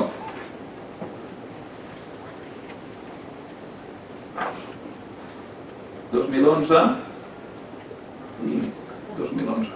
Uh, Diguem-ne que en termes de números de pobresa uh, seria un dels anys més similars a, a l'actual. Uh, augmenten unes 39.000 persones respecte a l'any anterior i en 3 dècimes. Han augmentat en unes 6.000 uh, i dues dècimes. En números absoluts i en taxa de pobresa seria uh, l'any més, uh, més similar a l'actual. Què passa? Que enguany el llindar ha augmentat un 4% i llavors el llindar va caure en uns 413 euros per unitat de consum, un 4,2% interanual de caiguda. Per tant, eh, tot i que els valors absoluts ens podrien portar a pensar que mm, estem igual que el 2011, la tendència, no. El 2011 va caure el, el, va augmentar poquet el volum de persones pobres i a més a més havia caigut el llindar i ara en el 2016 ha augmentat una mica el número de persones en situació de pobresa, en 6.000 persones, dues dècimes, però hem de tenir molt en compte això, que el llindar de pobresa ha augmentat eh, substancialment. A banda d'això, eh, són dades de l'enquesta de condicions de vida, una enquesta, ja s'ha comentat, harmonitzada a nivell europeu, que té una problemàtica metodològica, que és que eh, es basa en les llars privades. Què vol dir? Que totes aquelles persones que no viuen en llars privades eh, directament no formen part de la mostra. És a dir, quan donem dades de quan l'IDESCAT, quan l'INE, quan l'Eurostat dona dades de pobresa, no està donant dades de persones que no viuen en llars privades. És a dir, no està contemplant tota la realitat de l'exclusió residencial.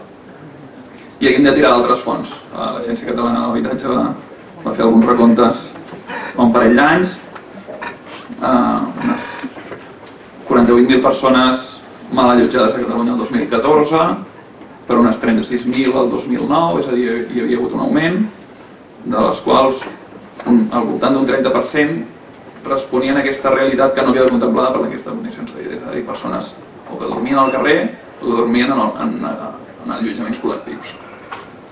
I d'altra banda tenim els recomptes municipals, eh, l'eina que es, es doten els municipis per eh, fer una diagnosi de la realitat eh, a nivell local, eh, recomptes municipals que s'han fet a Reus al novembre, a Tarragona fa unes setmanes i a Barcelona, per exemple, em sembla que va ser la setmana passada, on detectaven un lleuger augment també del de número de persones en situació d'exclusió residencial. És a dir, sí que milloren les dades de pobresa, però, mm, però no ens conformem en això perquè hi ha realitats que aquí queden amagades i que veiem que, que està costant, són metodologies diferents de càlcul, però que està costant eh, intervenir.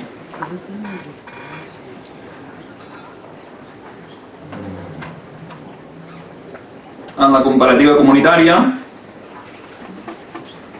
aquí tenim eh, una gràfica amb el risc de pobresa l'any 2015 en l'eix vertical i en l'eix horitzontal l'evolució percentual entre 2009 i 2015. A països que estan més a l'esquerra vol dir que han millorat els registres des de 2009 a 2015, països que queden a la dreta eh, han empitjorat.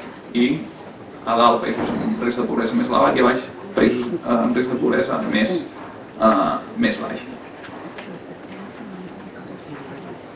Aquí tenim Catalunya, que és una colònia europea i eh, veureu també es marco Espanya.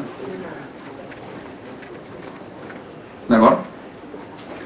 Risc de pobresa l'any 2015, 1,7 punts superior a la mitjana comunitària.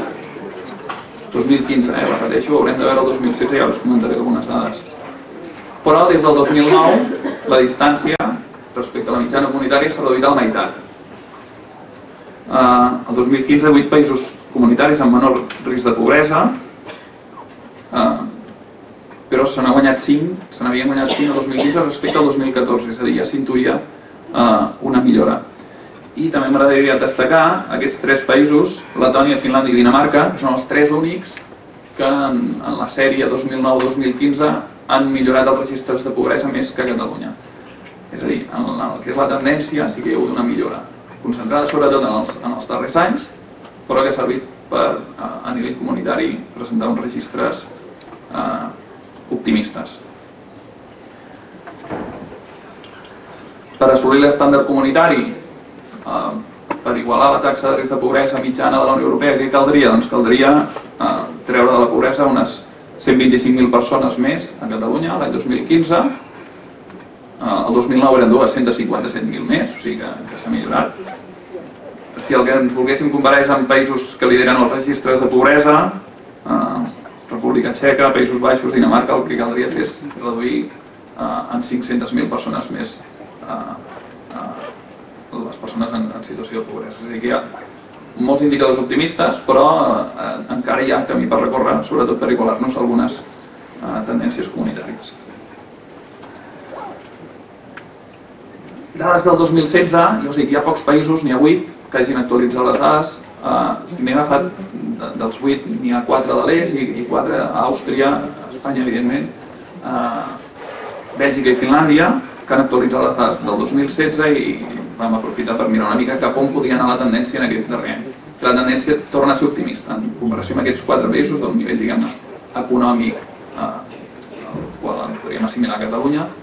Eh, sí que els, eh, la comparativa directa eh, indica que el 2016 els resultats de Catalunya han millorat respecte a aquests països. Falta veure amb la resta de, eh, de mitjana comunitària, però eh, podríem esperar, podríem preveure una millora també el, el 2016 quan s'actualitzin les dades comunitàries respecte a aquesta mitjana.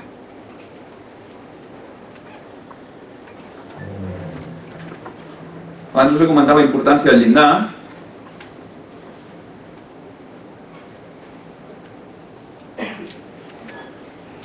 Uh, ho deixo així. Ja que no Bé. Uh, la importància del llindar a nivell tècnic en la mesura de la pobresa. Uh, una mateixa persona, una mateixa llar, amb un nivell de renda similar, hi hauria anys que es trobaria per sobre del llindar de pobresa i anys per sota, en funció de com vagi variant el llindar de pobresa. I això, a termes comparatius longitudinals, és veritat que pot ser qüestionat. Llavors, eh, hi ha una eina que el que intenta és ancorar el llindar de pobresa en un període de temps i mirar amb aquell llindar fixat a un any anterior com han anat, com han anat evolucionant les dades de pobresa en els darrers anys.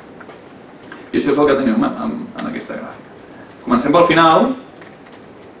Això són el número de persones eh, comencem pel principi perquè la gràfica és d'aquestes dades i després us parlaré de les de l'últim any. Eh, el número de persones en risc de pobresa i la taxa de pobresa a Catalunya cadascun d'aquests anys si utilitzéssim el llindar del 2009, és a dir, aquest llindar al principi de la sèrie, per, no, per evitar l'efecte aquest de variació de llindar. Evidentment l'hem anat actualitzant amb l'IPC i què veiem? Eh, són 1.738.000 persones que aquest 2016 situen per sota del llindar del 2009, actualitzat amb l'IPC, el que representa un 23,7% de la població. Si ho comparem amb les dades mm, convencionals, per dir-ho així, lògicament hi ha un augment del, del risc de pobresa tant en números absoluts com en, en termes relatius. És a dir, fixant el llindar i actualitzant l'IPC estem una mica pitjor que el 2009 encara. Encara hi ha uh, un camí per recórrer. Un 23,7% de la població total, són 278.000 persones més que aquell mateix any, 2009, i 3 punts percentuals per sobre. Hi ha dades positives? Sí. Uh, Fixeu-vos en aquesta part final de, de la gràfica. Uh, acumulem 3 anys seguits de disminució, tant de la taxa com de uh, com del total de persones en risc de pobresa amb aquest llindar ancorat al 2009. Des del 2009 aquests valors no eren tan baixos a Catalunya eh, i és aquest darrer 2000, any 2016 està la caiguda interanual més forta. És a dir, hi ha camí per recórrer però estan millorant els resultats. De fet, si agafem, si haguéssim agafat el llindar ancorat al 2015, per veure aquest últim any què ha passat en relació al llindar de l'any passat, eh, la taxa de pobresa a Catalunya, que en realitat és del 19,2%, hauria baixat al 18,3%. D'acord? Perquè el llindar, com us dic, ha augmentat. Si treballéssim amb el llindar de l'any 2015, actualitzat amb l'IPC, doncs hauríem reduït el risc de pobresa en 9 dècimes, que eh, és substancial, unes 39.000 persones menys, que ara es troben en risc de pobresa per l'efecte del llindar, respecte al, al 2015.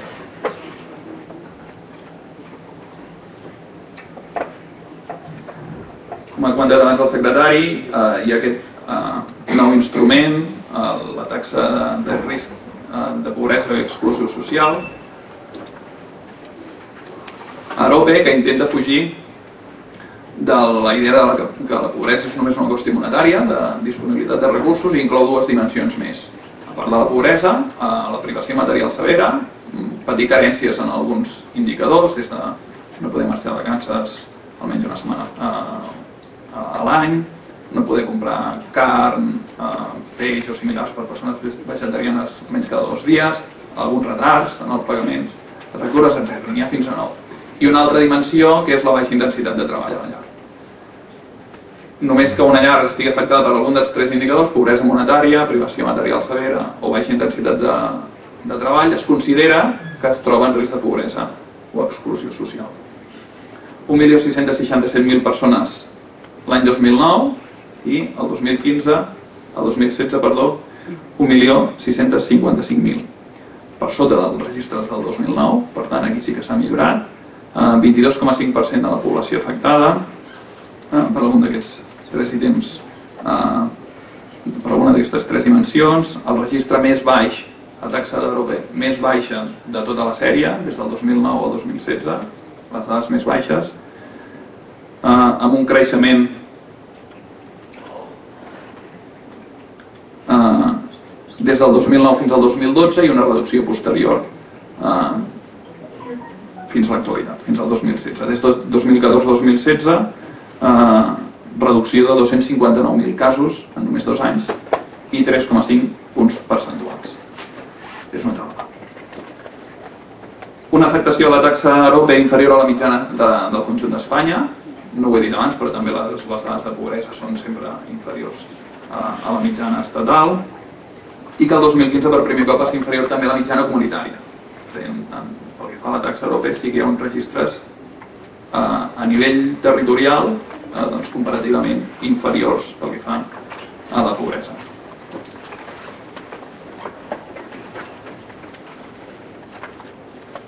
I aquí tenim una dada, sota de tot, Europa 2020, això és la del, dos, del 2000, eh,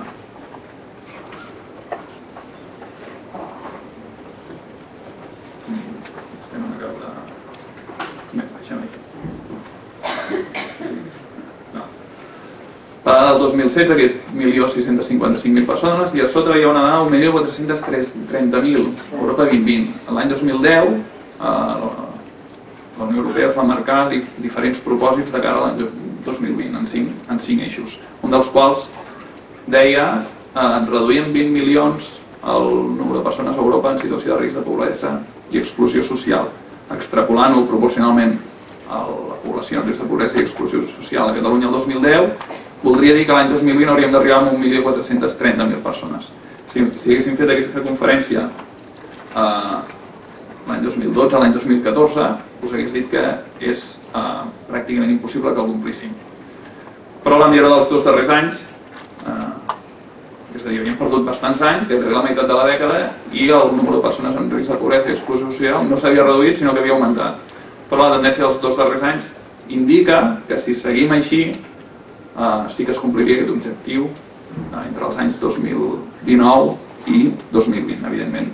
Eh, fer previsions a tan llarg termini és difícil, però eh, si es mantingués la tendència, els números indicarien que sí que s'arribaria a complir aquest objectiu.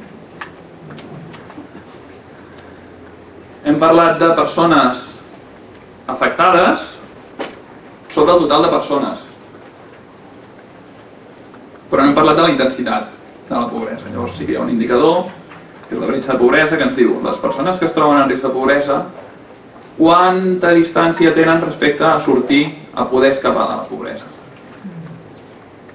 I un, un, un ítem per mesurar eh, aquesta dimensió és la, la bretxa de pobresa, un, un indicador que va de 0 a 100, on 0 és que tots els individus en risc de pobresa estan pràcticament a sobre del llindar, és a dir, pràcticament ja a punt de sortir de la pobresa, i 100 indica que estan al màxim de lluny.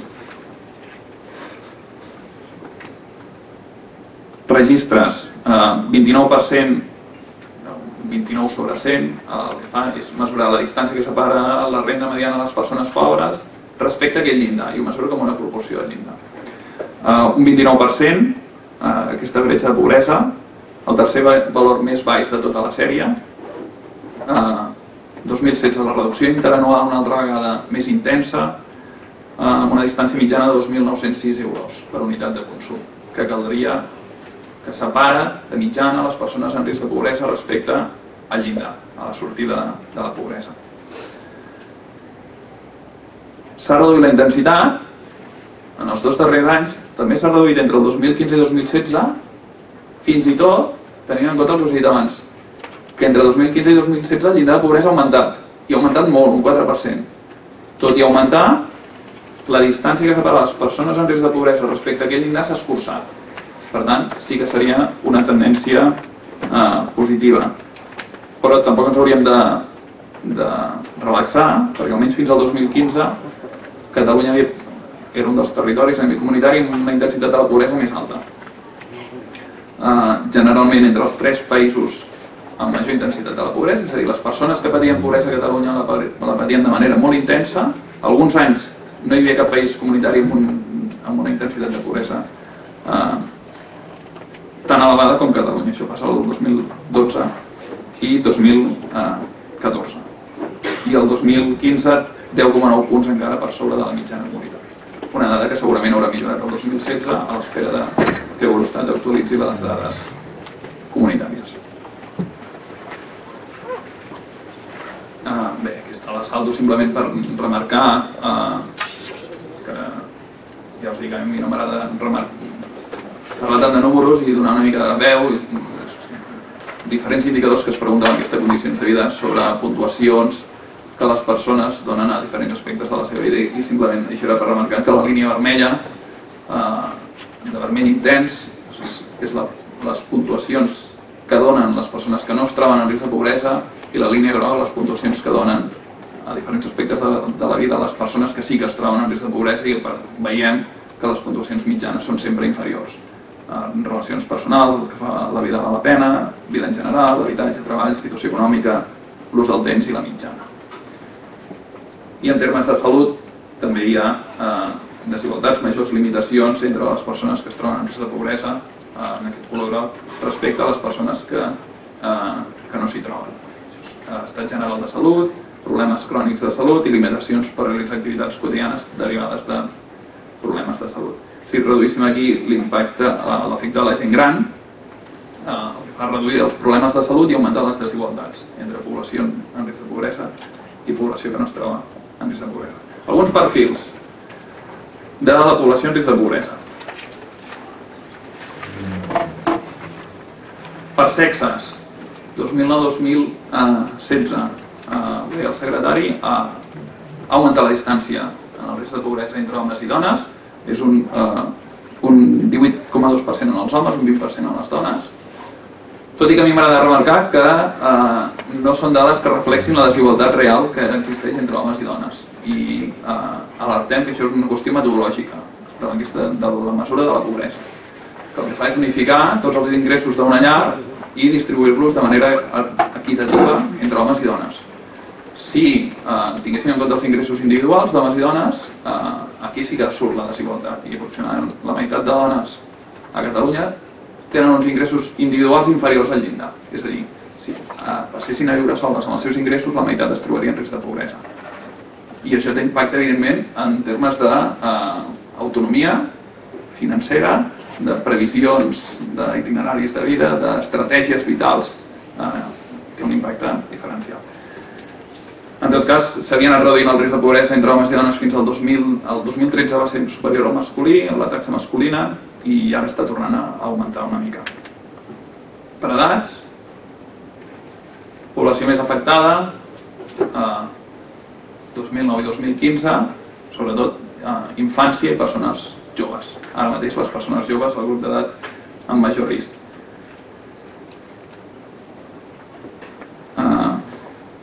tenia les persones joves a Catalunya un risc de pobresa habitualment baix durant tota la primera dècada del 2000, sobretot per, per l'efecte de l'emancipació tardana. És a dir, eh, marxaven de casa quan realment es complien les, eh, les garanties eh, financeres per fer-ho. Fins llavors vivien a casa, a la llar d'origen, i això els, era un coixí que els permetia escapar de la pobresa. Què passa? Que aquest coixí s'ha anat desfigurant amb la crisi i aquestes llars d'origen que abans sí que podien oferir protecció, doncs ara eh, estan eh, tenen més problemes per oferir a aquesta població. En infància ja sabem, eh, realment la pobresa infantil no és pobresa infantil, és una pobresa sobretot lligada a situacions d'atur, de precarietat de, dels pares, eh, que afecta entre, a tots els membres de la llar i entre altres els, els infants.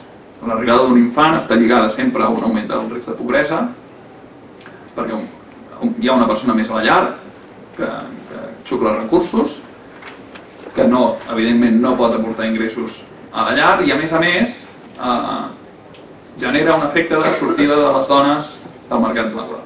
Aquí sí que hi ha una discriminació clara on eh, les estratègies familiars fan que siguin generalment les dones, les mares, les que passin a treballar a jornada parcial o les que deixin la feina i es tornaran a reincorporar eh, més endavant. I un altre col·lectiu que m'agrada destacar és aquest de població de 65 anys o més, que ara mateix és el grup d'edat més protegit davant de la pobresa a, a Catalunya, amb una reducció notable del, del seu risc de pobresa des del 2009. És un grup que ha escapat de la crisi per, estar fora del mercat laboral, per tenir unes pensions generalment assegurades, que no els permeten anar massa més enllà del llindar de pobresa, però sí superar-lo eh, tot i que ha augmentat un parell de punts aquest darrer any, eh, segurament per l'efecte del llindar. Com que ha augmentat el llindar, si estan just per sobre el llindar passen... Però bé, segueixen sent eh, el grup d'edat més protegit. Per què? Doncs ja us dic, eh, perquè estan, estan fora del, de les problemàtiques del mercat laboral, perquè generalment la població jubilada avui en dia ha tingut una carrera laboral estable al llarg de les seves vides, eh, no han anat canviant de feina constantment, rotacions, atur, etc. i perquè està arribant a l'edat de jubilació les primeres grans generacions de dones que han treballat eh, pràcticament tota la vida. És a dir, eh, que han cotitzat i això també repercuteix en termes de protecció. A nivell de nacionalitat, eh, l'enquesta de condicions de l'he posat aquí, però l'enquesta de condicions de vida és bastant deficitària perquè organitza només la població en tres categories, espanyola, Unió Europea o resta del món, eh, simplement per detectar que, el risc de pobresa és, és clarament superior entre la població de nacionalitat estrangera.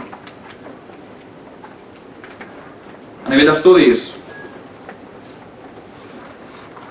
es diu habitualment que estudiar no val la pena, que no val la pena anar universitat, etc. i en risc de pobresa eh, hauríem de recomanar claríssimament que la gent es formi. Eh, no només per una qüestió de, de vàlua personal, de, de dignitat de la persona, de, de formar-se culturalment, sinó també en termes eh, materials. Eh, més nivell formatiu està lligat sempre a una reducció del risc eh, de pobresa. Permet accedir a unes feines més qualificades, unes millors cotitzacions, etc. Pel que fa a la relació amb el mercat de treball, mm, ha augmentat l'atur durant la crisi, però no només ha anat augmentant l'atur, tot i que darrerament està baixant, sinó que durant la crisi les persones aturades en situació d'atur patien més pobresa que les persones aturades al principi de la crisi. Evidentment aquí hi ha en compte la pèrdua de prestacions, eh, etc. Actualment, el 2016, gairebé la meitat de persones aturades es troba en risc de pobresa.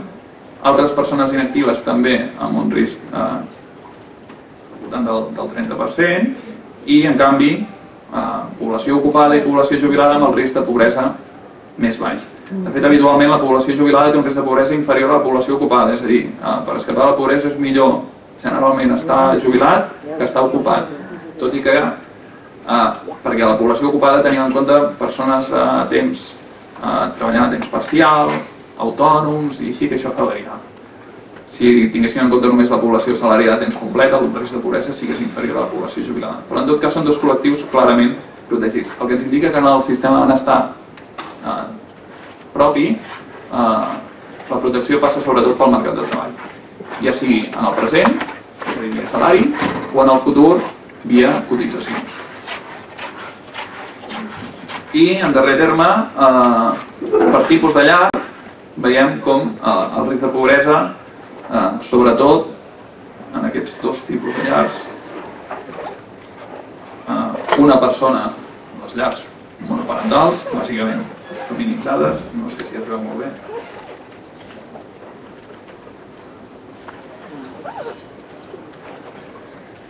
Aquesta d'aquí, eh, la barra del mig, eh, una persona amb infants i eh, la del fons parella, la de la dreta de tot parella amb tres infants o més. Què ens està dient? Que sobretot llars amb eh, un alt percentatge de persones dependents són les que tenen major risc de pobresa. Sobretot una, un, alt ràtio de persones dependents respecte al total de membres són les que pateixen un risc de pobresa més elevat, cosa que podem lligar amb, amb, amb els grans índexs de, de pobresa infantil. Protecció social. Quin impacte té? Uh, tenen les prestacions socials en la reducció de la pobresa.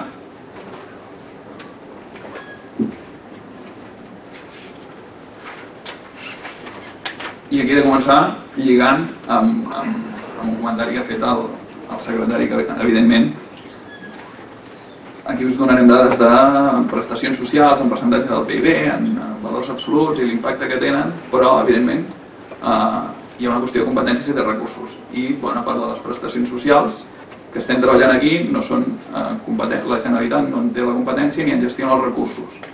Per tant, és relativament fictici parlar de quin impacte tenen aquestes prestacions socials en la reducció de la pobresa a Catalunya quan eh, bona part d'aquestes prestacions eh, estan, depenen, per dir-ho així, no depenen de, del govern de, de la Generalitat.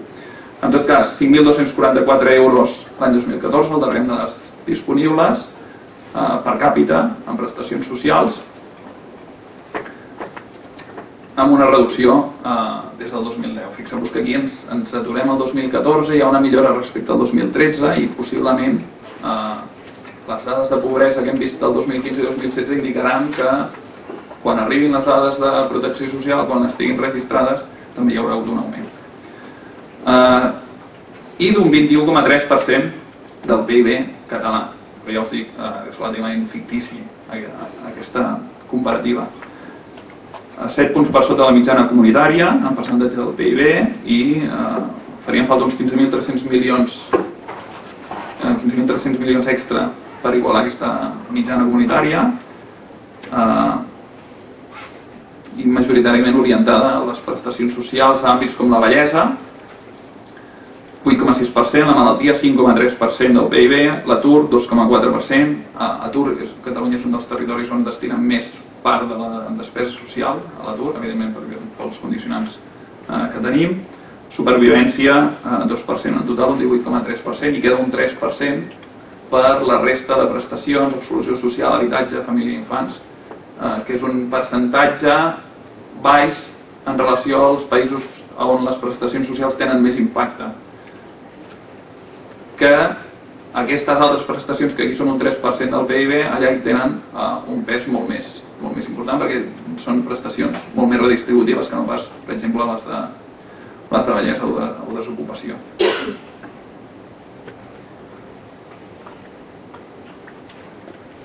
Percentatge de població que deixa de trobar-se en situació de pobresa gràcies a les prestacions socials. De cada 100 persones que es trobarien en risc de pobresa, quantes deixen de, de, de trobar-s'hi gràcies a l'impacte de les prestacions socials. En taronja eh, Catalunya, en vermell la mitjana comunitària, poc més de la meitat, eh, poc més de la meitat, un 53,7% de la població eh, deixa de trobar-se en risc de pobresa gràcies a les prestacions socials. Què vol dir? Que si no hi haguessin les prestacions socials, el risc de pobresa a Catalunya seria del 41,5%. 4 de cada 10 persones estarien en risc de pobresa sense aquestes prestacions. És molt, és poc, uh, us dic, en la perspectiva comunitària és poc. Uh, les rendes de mercat uh, aconsegueixen mm, treure de la, de la pobresa a Catalunya a una part substancial de la població en relació a la mitjana comunitària. Uh, tercer any consecutiu de caiguda en, en l'impacte que tenen les prestacions, el que vol dir que la millora en els registres de pobresa s'està donant sobretot abans de prestacions.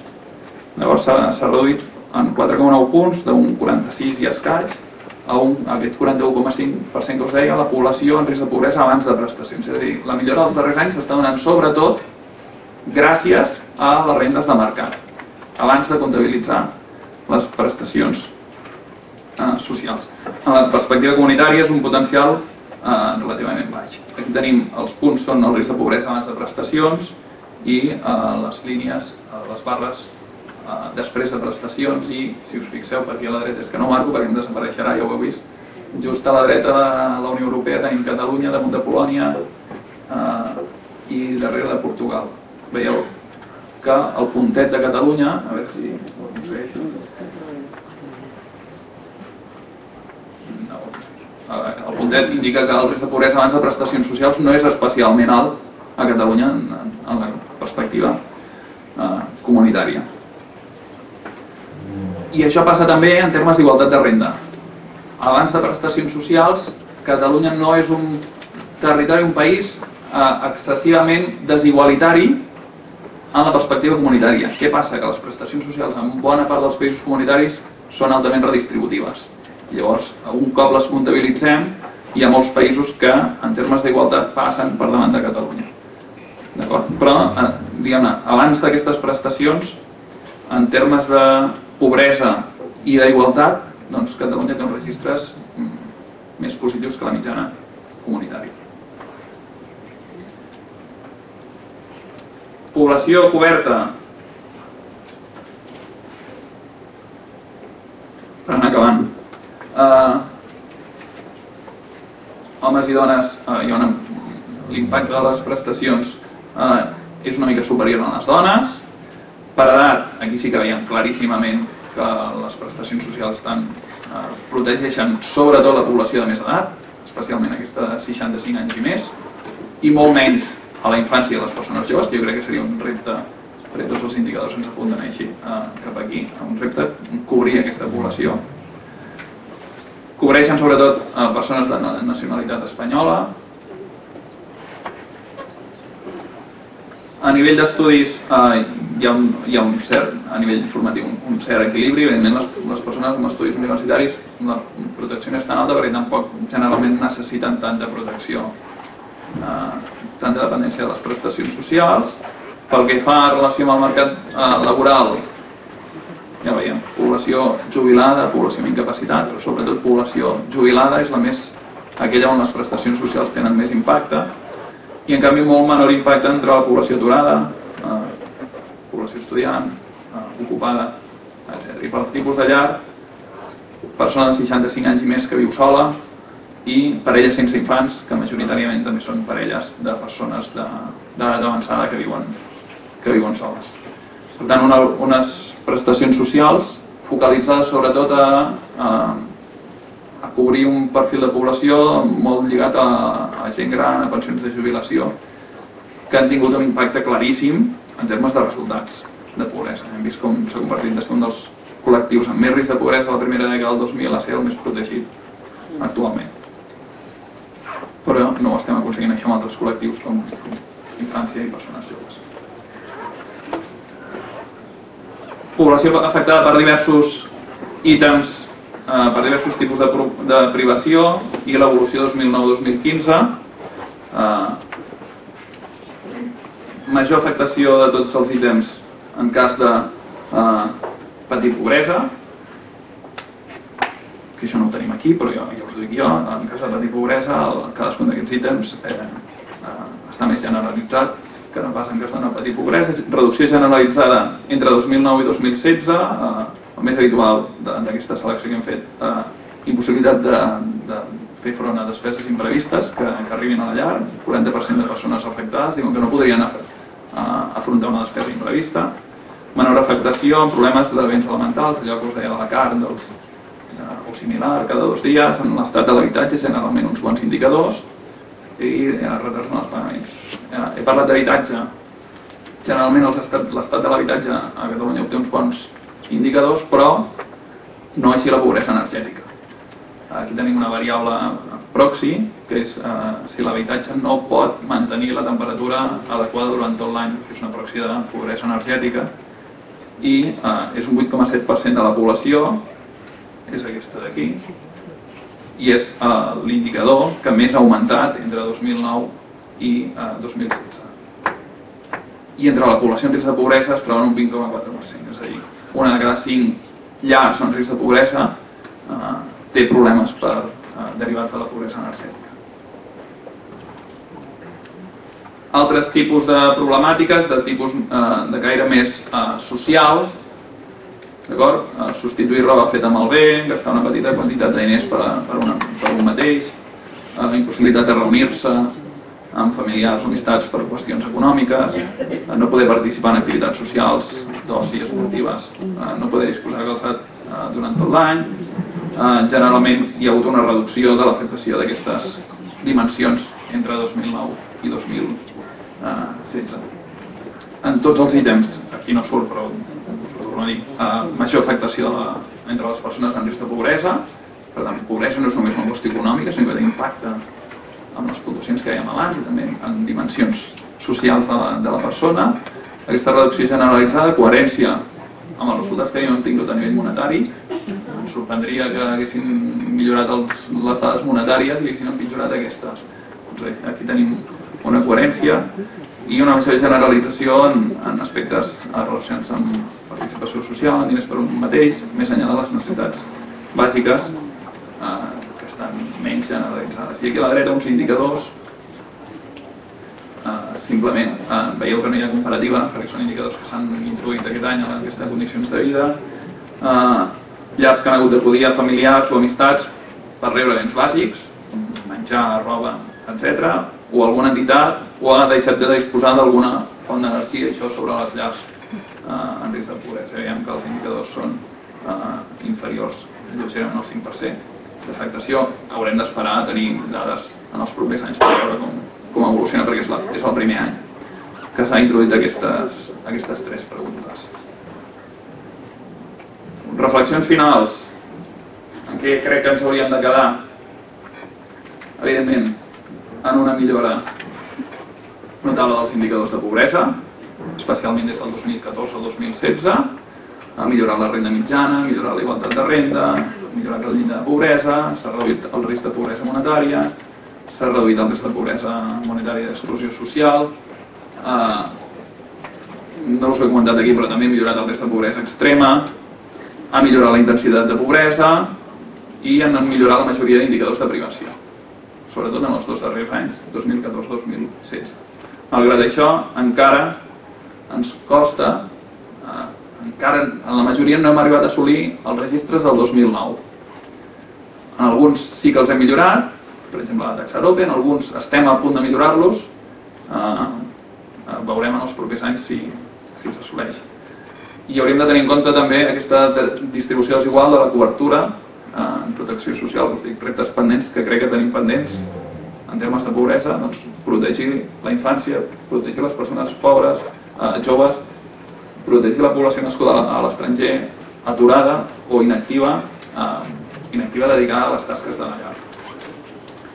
I enllaç amb elevada ràtio de membres dependents. És a dir, intentar aconseguir per aquests perfils de, de població allò que hem aconseguit sobretot eh, en la gent gran.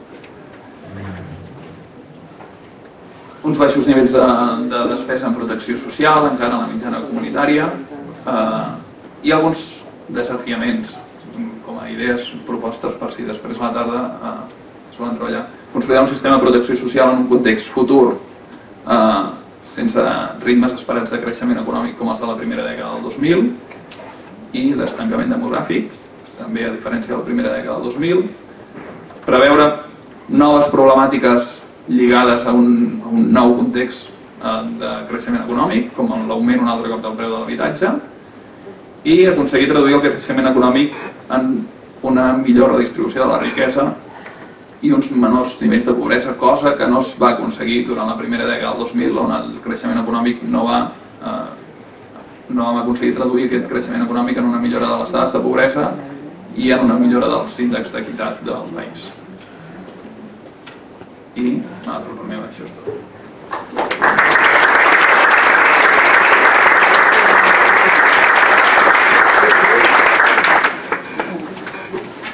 Bé, no sé si podem obrir ara eh, uns minuts si algú té alguna pregunta o seguim amb la presentació del, del pla i deixem després 10 minuts. Fem... Sí, seguim, doncs amb la presentació del pla i acabarem abans eh, de la una, cosa és d'agrair. Jo crec que és la primera jornada que estic que anem bé de temps.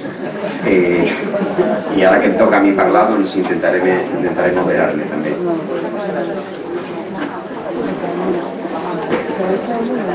Sí, lavabo,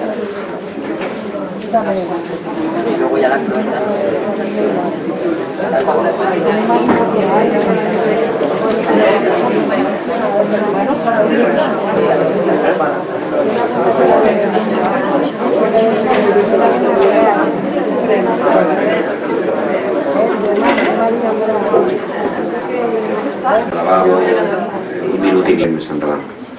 És a dir, no és el resultat d'una acció exclusivament del Departament de Treball, Afers Socials i Famílies, sinó que és un pla que enmarca, que engloba l'acció de moltes unitats, no diré totes aquí perquè són moltes, moltes unitats departamentals de la Generalitat, del govern, que conjuntament i transversalment posa en marxa les actuacions per mandat, com deia, per mandat eh, parlamentari i en última instància del govern.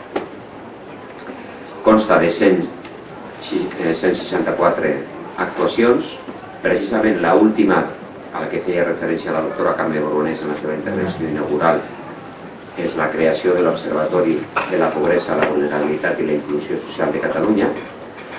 És un observatori que va ser creat precisament en aquesta actuació 164 i que és l'encarregat de fer aquests informes que avui estem presentant a tota la ciutadania, a vosaltres, i insisteixo doncs, que és un observatori que està format per tècnics del Departament de Treball, Afers Socials i Famílies i per investigadors de la carrera d'Inclusió, investigadors i investigadores de la carrera d'Inclusió Social.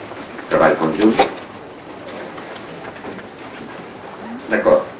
Eh, mireu, els objectius generals d'aquest pla són la millora de la resposta, l'optimització dels recursos, la priorització de les accions, l'harmonització dels serveis i eh, agilitzar la gestió. Com veieu, aquests són els objectius generals del pla. El pla, per tant, conté una sèrie d'actuacions, ja he dit 164, i moltes d'aquestes actuacions estan enfocades específicament i especialment a la millora dels processos, la millora dels processos de prestació i d'atenció. Com veurem més endavant en alguna altra diapositiva, una bona part de totes aquestes actuacions formen part d'una categoria que nosaltres hem anomenat a nivell analític de protocols. Una altra part important forma part d'una altra categoria que són programes. Però en definitiva, quan un analitza aquestes 164 actuacions, es troba sovint en moltes d'aquestes actuacions que es centren en la millora dels processos interns. Insisteixo que són processos que impliquen diferents departaments i diferents unitats. Sintèticament, el pla té un caràcter interanual, com heu vist, 2014, 2015, 2016, combina mesures i o actuacions de resposta immediata amb altres actuacions més estructurals. Això és lògic, donada la immediatesa de l'impacte de la crisi que hem patit des del 2008-2009 fins ara.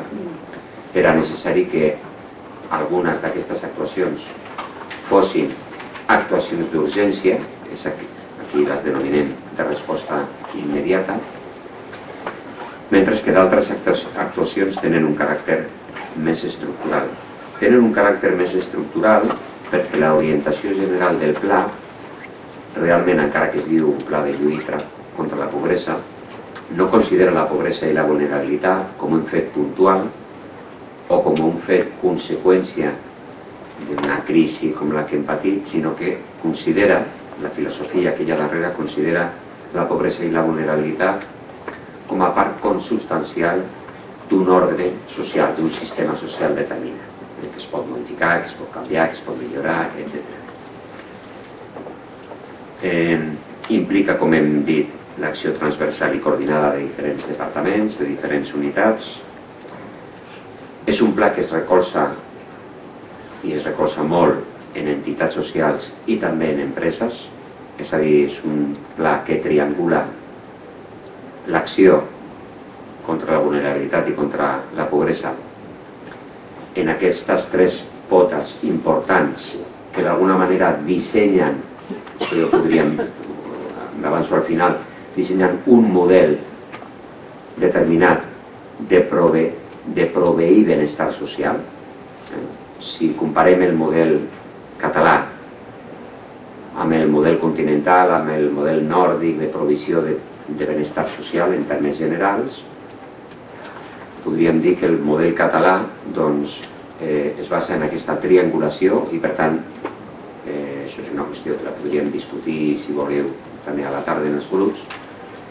Jo penso que efectivament existeix un model i una evolució d'un model català mm, diferencial a altres models. Us avanço que des del meu punt de vista i analitzant les dades estaríem en un trànsit d'evolució entre un model mediterrani i un model meridional cap a un model continental, però sense abandonar algunes qüestions fonamentals del model mediterrani, per això, us dic, no entrarà en profunditat, eh, ho podem discutir a la, a la tarda. Molt bé.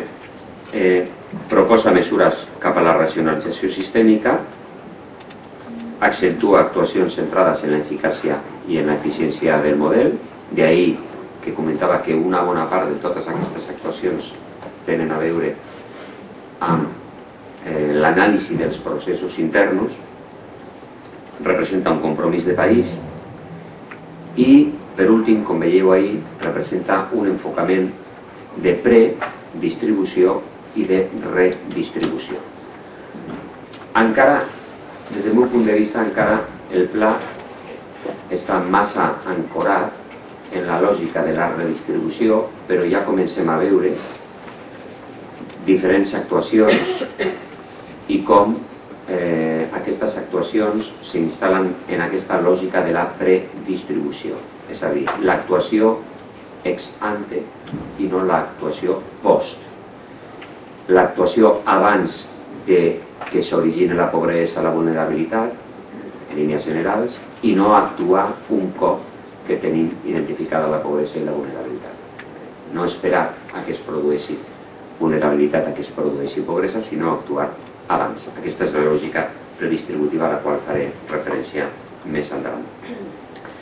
El pla, eh, el pla i en general el sistema de provisió de benestar català té uns reptes a futur que ja als quals ja s'han fet referència aquí, tant el francès Iglesias com el francès Valls i en les intervencions. Un d'ells és l'increment de la demanda de serveis socials, propers anys tindrem un increment important de demanda de serveis socials, bé per dependència, bé per longevitat, bé per diferents circumstàncies, un problemes de finançament del sistema de benestar.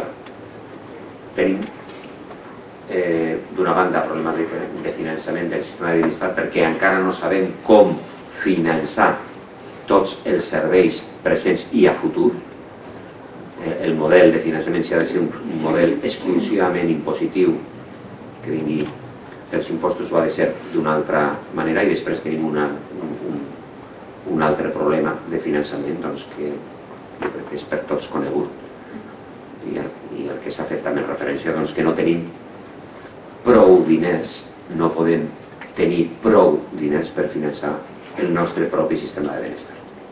Nosaltres hem fet simulacions, això ho vaig presentar en una altra conferència fa ara uns dies en la qual també estava el secretari general i eh, per reduir la pobresa a nivells més o menys eh, de Finlàndia partint, de percentatges de pobresa molt similars a les de transferències, nosaltres ara mateix necessitaríem injectar al sistema al voltant de 15.000 milions d'euros.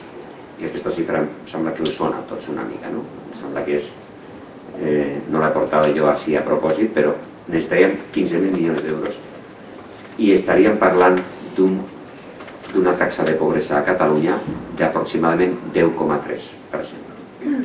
Això ens situaria entre els tres països europeus amb menys pobresa de, eh, de tota Europa. Tenim problemes de finançament, tenim eh, problemes eh, de de la millora de les prestacions i serveis, també fer referència aquí el, el Francesc Iglesias del matí, faig una mica més ràpid, i després jo sóc dels que penso que hem d'anar cap a un enfocament, com deia abans, més de predistribució, sense abandonar lògicament la redistribució. Això no estic dient que la redistribució sigui negativa, no. El que passa és que la redistribució té costos econòmics molt, molt, molt potents i no només costos econòmics molt potents, sinó que té costos humans molt potents, i per dos vies.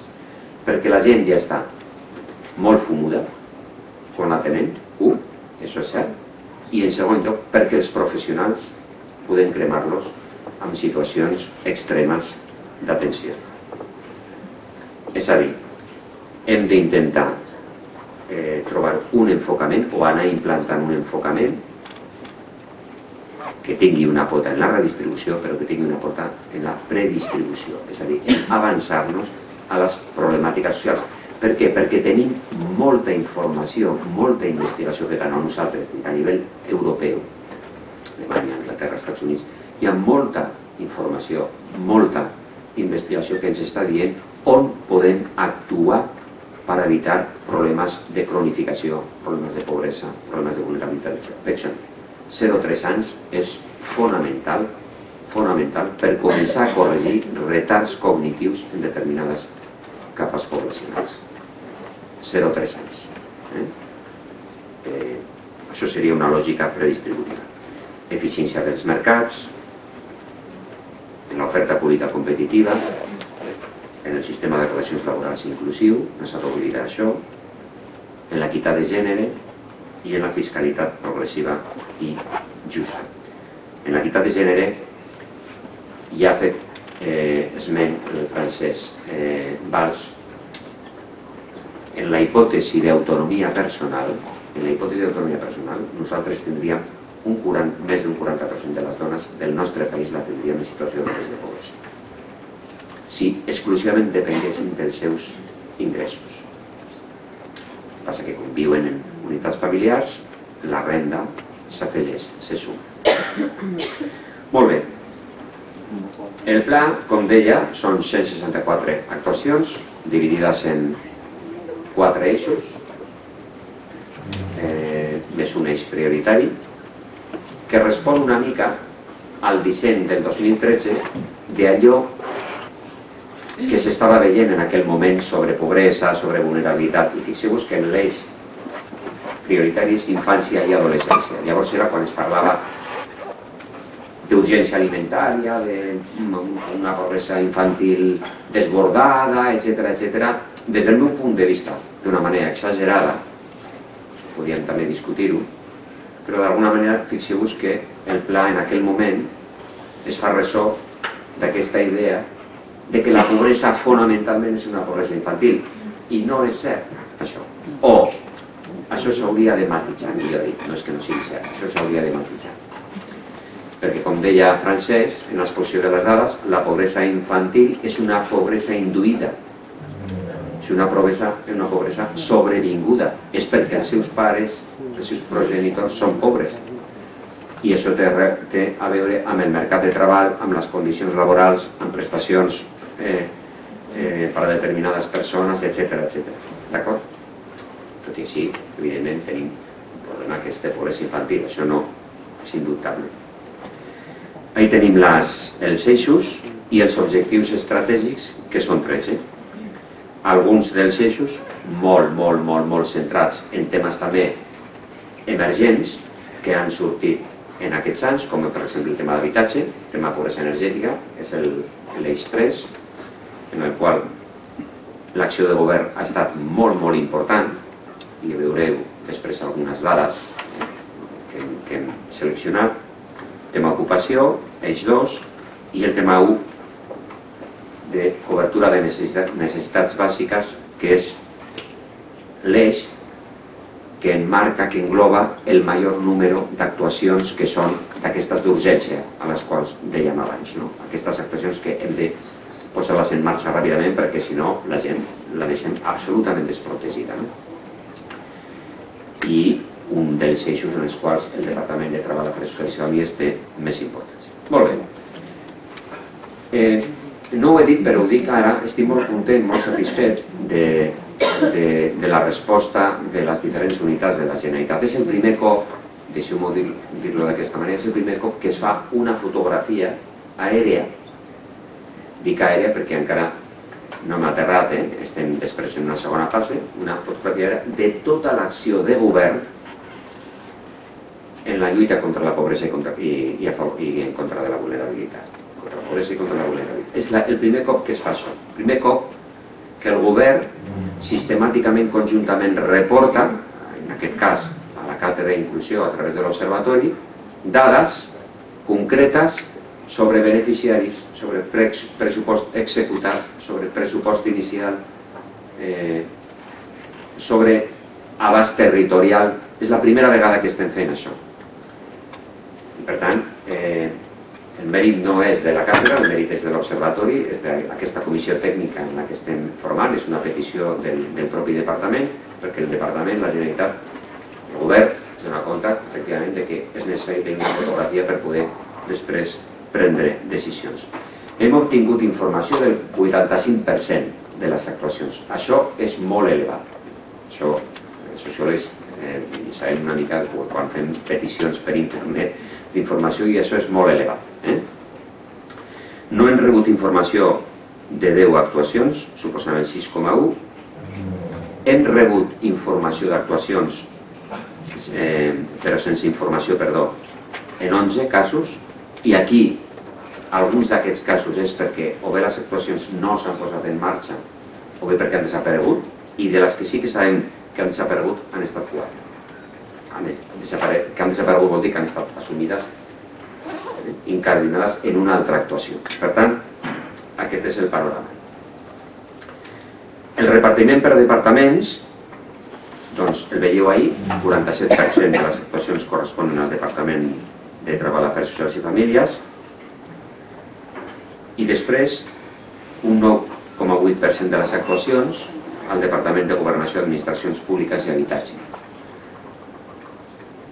Aquesta també és una dada significativa no, de la participació de la Generalitat. Això no vol dir doncs, que eh, els departaments que tinguin menys actuacions fan una feina menor, ni molt menys. Eh? No vol dir això, sinó que Lògicament, com no podria ser d'una altra manera, el pla de lluita contra la pobresa, doncs, el lideratge d'aquest pla, evidentment, doncs, corre a càrrec eh, del Departament de Treball, Afers Socials i Famílies, i tenim la distribució. Després tenim una altra dada que per a nosaltres és important, tot i que és una dada indicativa, és el grau de satisfacció amb les actuacions dels tècnics i de les tècniques. Mm. Això és important també que ens diguin les tècniques i els tècnics que, que, que, que estan darrere d'aquestes actuacions i que ens donen informació del, del grau de satisfacció amb l'acompliment. A vegades prenem eh, dades i preguntem als usuaris, als beneficiaris, sobre el grau de satisfacció, però ens oblidem sempre de la gent, de la gent intermitja, de la, de la gent que està treballant. No? I per a nosaltres era important. Per al 32 per, eh, el, el, el, en el 32% de les actuacions és bastant favorable i el 29,88 és molt favorable. Això vol dir que la immensa majoria de les actuacions s'han fet 2015 i s'han fet 2016. Algunes no s'han acabat. D'algunes no tenim dades encara perquè ara, ja ens ho diuen, ara a finals del primer semestre us podrem donar les dades d'aquestes actuacions eh, per un decalàs de temps només. Eh? Però en, realitat, com veieu, hi ha un grau de satisfacció molt elevat. Aquí tenim la distribució pressupostada executada per departaments. Ahí teniu també, com no pot ser d'una altra manera, doncs, la importància del Departament de Treball, Afers Socials i Famílies en la distribució percentual del pressupost de tot el pla, seguit del Departament de Governació, Administracions Públiques i Habitatges. Fixeu-vos que a nivell de pressupost executat és més important, creix el pes d'aquest departament eh, de governació d'administracions públiques respecte al pes que tenien les actuacions. Per això deia doncs, que el fet que un departament no tingui tantes actuacions no vol dir doncs, que no faci una feina important. I ahí tenim la distribució també del Departament d'Ensenyament, que fonamentalment actua en aquell eix primer que hem, que vist d'infància i d'adolescència, eh? el Departament d'Ensenyament. Ahí teniu aquesta distribució. Més coses. La distribució dels pressupostos executats per eixos del pla, bàsicament infància i adolescència, en segon lloc, i en primer lloc cobertura i necessitats bàsiques. Per què?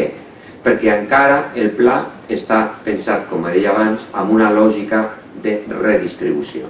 Insisteixo, no, que no s'entengui eh, d'aquestes paraules que s'està en contra de la lògica redistributiva, ni molt menys, eh? ni molt menys, sinó que és una lògica que actua a curt termini, treu de la pobresa i redueix desigualtat a curt termini, però a llarg termini tenim bastants evidències de que aquesta lògica redistributiva no afavoreix la inclusió i no redueix la desigualtat social el que nosaltres esperàvem. I a més a més, un altre factor a tenir en compte i no és menor, la lògica redistributiva, si només deixem l'acció social en la lògica redistributiva, crea resistències. perquè la lògica redistributiva bàsicament està fonamentada i basada en, eh, en els impostos. I per tant això s'ha de tenir en compte també, eh? s'ha de tenir en compte. Ahí teniu la distribució del pressupost executat i teniu la distribució del pressupost executat per objectius. Fixeu-vos en l'objectiu 6, millora i ordenar el sistema d'ajuts. Fixeu-vos que hi ha una part important que es dedica a això. Un altre cop tornem a parlar de reordenació, de protocols, de programació, d'anàlisi interna, s'està fent. Després tenim un 12,73%, estava mirant del 2015, mirem les del 2016, 16,82 l'objectiu 10, manteniment de l'habitatge, per això us deia, l'acció de govern s'ha centrat molt en aquests anys en tot el que afecta a la pèrdua de l'habitatge, al manteniment de l'habitatge, etc. I eh, en l'objectiu 1 i en l'objectiu 2, que són protecció dels infants i adolescents i serveis educatius inclusius. Actuacions segons àmbits concrets, aquí en aquesta diapositiva, després he vist que estan en castellà, perquè això ho vaig explicar en, en, en, en algun moment determinat, d'aquest mesos i s'ha colat, no passa res, l'entenen tots perfectament, no? Doncs, aquí veieu que hi ha 196 actuacions. No havia dit que hi havia 164, sí, hi ha 164 actuacions, el que passa que algunes d'aquestes actuacions comparteixen àmbits. Nosaltres les hem codificat en diferents àmbits. Una pot ser perfectament, si fem una programació específica per a joves i ocupació, que és de formació, per tant, a l'àmbit de la formació i a l'àmbit de l'ocupació. Per això aquí surten 196 actuacions. Eh? És un múltiple resposta que diem en sociologia. Ahí veieu la gradació, educació i formació 15,3. En aquestes d'educació i formació hi ha algunes d'aquestes actuacions que són d'aquesta lògica predistributiva a les quals feia referència. 14, el 15% pràcticament de, de eh, habitatge, pobresa energètica i aigua, 13% ocupació i atur, el 12% la inclusió social i participació comunitària, l'últim eix, que és l'eix relacional, que és molt important també, 11% econ eh, econòmics i sosteniment de la renda, 8% alimentació, etc etc. Després necessitats bàsiques, serveis socials, salut, justícia, mobilitat, altres, autonomia i oci. Fixeu-vos en el cas de mobilitat, 2,6% de les actuacions. Però les actuacions de mobilitat, després crec que hi ha alguna altra diapositiva, tenen un impacte enorme sobre la redistribució i la igualtat. La mobilitat física, la mobilitat física té un impacte enorme. I com veureu, hi ha una quantitat elevadíssima de diners que es destinen a la mobilitat. Per què? Per evitar la reclusió social, la reclusió residencial. En barris, en zones determinades que són en una determinada tipologia social. Molt bé. Aquí veieu la distribució de les actuacions del pla segons grans àmbits i veieu que els protocols es porten pràcticament el 26% de les actuacions, programes 42%, els programes són accions bàsicament concretes, en aquests programes hi ha una part significativa de programes conveniats amb entitats i amb empreses privades. Després tenim prestacions, 14 ajuts socials, que són bàsicament prestacions ajuts socials, no només ajuts i prestacions monetàries, fonamentalment sí, però també són, ajuts i prestacions en espècie. Eh? Com per exemple els títols de viatge, de, de mobilitat. Nombre de persones cobertes. Aquesta xifra és important. Hem baixat el nombre de persones cobertes una mica. El gràfic està una mica distorsionat i sembla doncs, que és molt més la caiguda. No? Aquesta és una de les trampes de l'estadística. Jo no podia haver canviat, però no he volgut canviar-lo. Si ve, veieu que són 2.979.000 i després aquí 2.950.000. Això és lògic. És lògic i està en concordància amb les dades que estem dient de treballada de la pobresa i de millors indicadors en, en aquests anys. Això no és una dada, això no és una dada negativa. Eh? Recordeu el que, el que ha comentat el rector aquest matí. L'esperança seria que vosaltres us quedéssiu, no que es quedéssiu sense feina, no dit això, sinó que deixéssiu de, que deixés de ser la vostra feina tan important no? en, en aquest sentit, no? perquè això voldria dir que se solucionen els problemes. No? Bueno, s'ha produït, tot i així, tenim 200, eh, perdó, 2 milions, quasi pràcticament 3 milions de persones que han estat cobertes. Això no vol dir que dels 7 milions de persones que té Catalunya hi hagi estat 3 milions de persones cobertes, eh? sinó que algunes d'aquestes persones són multibeneficiàries. Eh? Per tant, eh, això és una dada bastant impactant. No? Això és una dada doncs, que a vegades és necessari eh, repetir-la quan se senten certs discursos de que l'acció social és minsa, l'acció social no sé què, vull dir tal, eh, ja m'entenem què vull dir. Nombre d'entitats implicades en les actuacions, 59.000 i 67.000. I aquí es veu la força que té aquesta triangulació tercer sector, entitats, aquí també hi ha empreses, eh?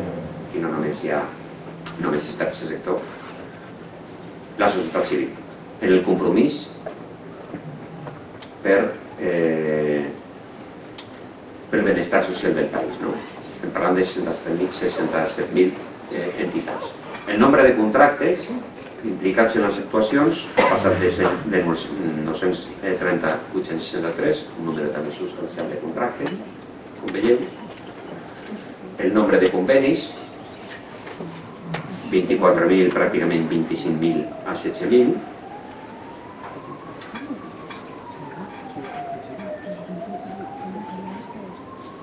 Perdó, això és el nombre de personal, m'he saltat el nombre de convenis, el nombre de personal format. Eh, nombre de personal de l'administració format, 25.000 a 16.000, també és un nombre molt important. Nombre de convenis, aquí tenim 768 a 1.295, i aquí aquesta dada mostra un altre cop la importància de les entitats del tercer sector en la provisió de benestar social, i un resum que veieu aquí dels impactes generals, nombre de persones, com he dit abans, nombre d'equipaments, nombre d'entitats, ja ho hem dit, nombre de contractes, nombre de personal eh, format, i després al final teniu nombre de centres educatius que han participat en aquestes actuacions, 483 i 388, nombre de centres educatius que han participat en alguns programes específics per a detectar, acompanyar nois, noies, adolescents en situació de risc, de pobresa, etc etc. Nombre de plans d'inclusió social 42 i nombres de plans de ciutadania i migració 102, 104 que s'han posat en marxa i que tots pertanyen a aquest eix final que és l'eix eh, relacional. L'acció del govern, l'acció de totes les unitats del govern implicades, ha estat una acció, com he dit abans al principi, redistributiva a nivell territorial. Molt transversal a nivell territorial, tot i que algunes de les accions, això només és un exemple, algunes de les accions estan focalitzades en alguns determinats municipis, ajuntaments o zones específiques per diferents motius, per diferents característiques. Aquí veieu, per exemple, l'ampliació de l'oferta formativa adreçada als joves més grans de 16 anys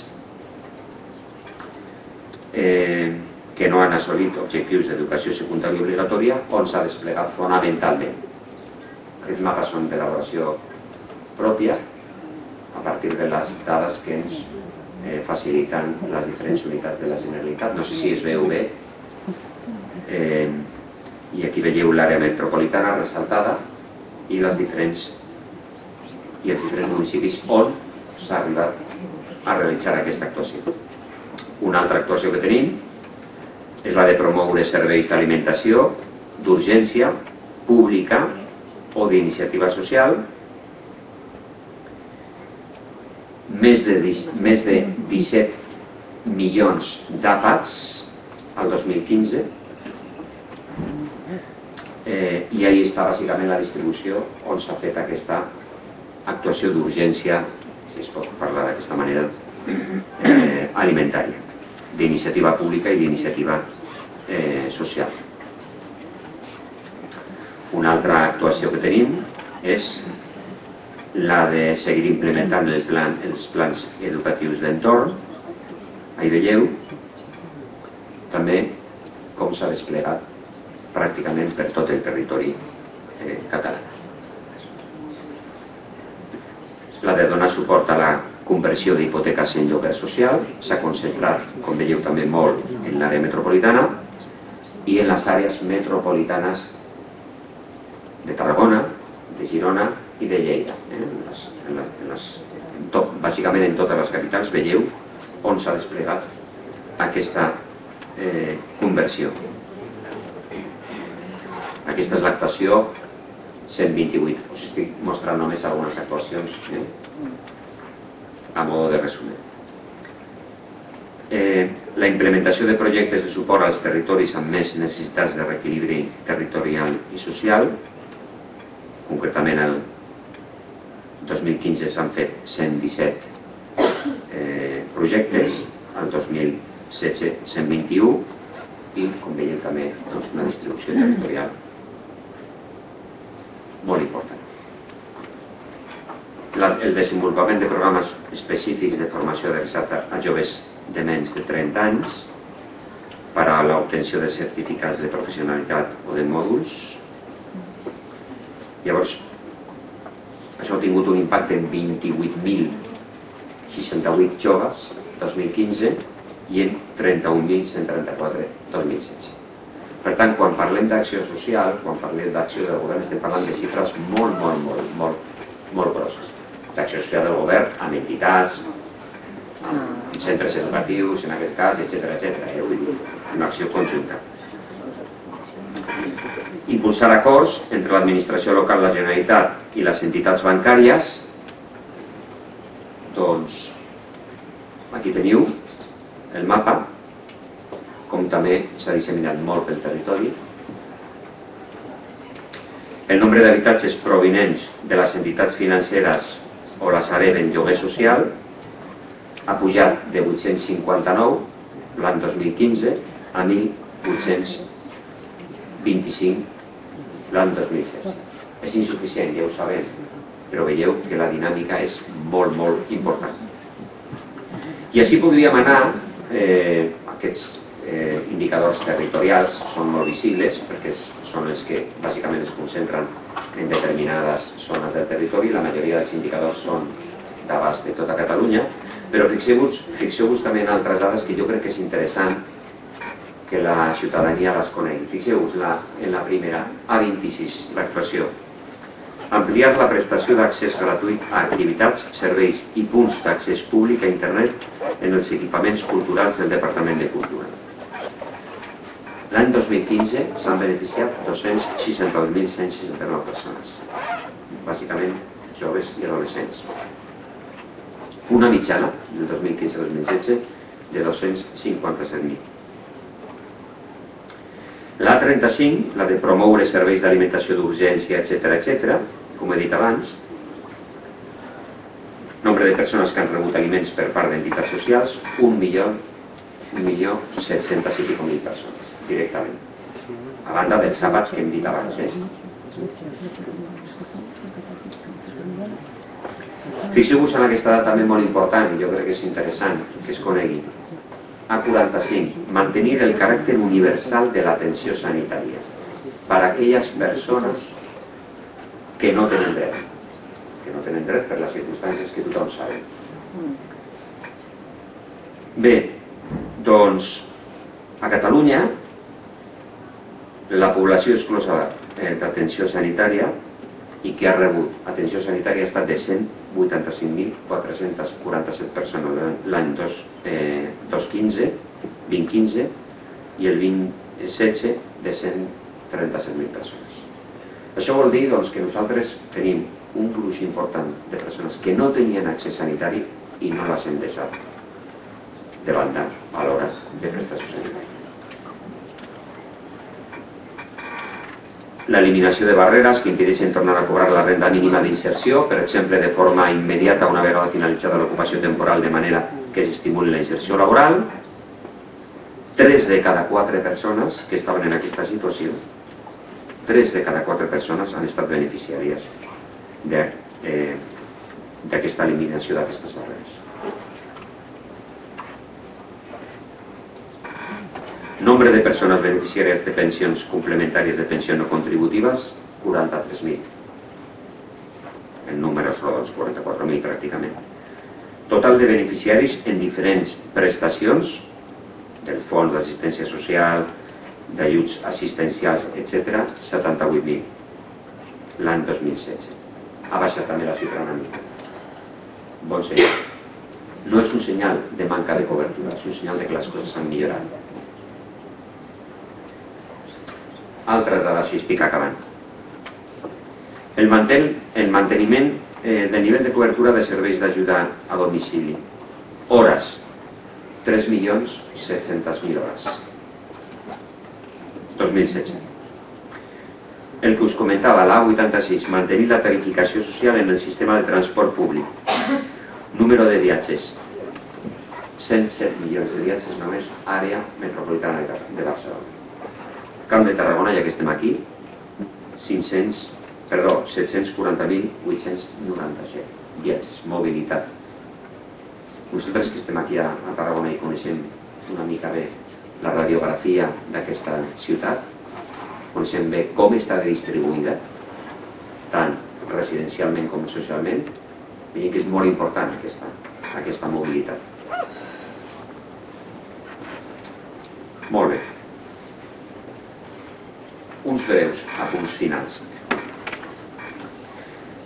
Aquí diem que l'acció cada vegada més coordinada entre administracions, societat civil i empreses a l'hora d'afrontar les problemàtiques de vulnerabilitat, això és el que estem observant en les actuacions, un cop, no en el disseny de les actuacions, un cop que ens envien les actuacions, les diferents unitats, observem la participació d'aquesta triangulació a la qual feia referència.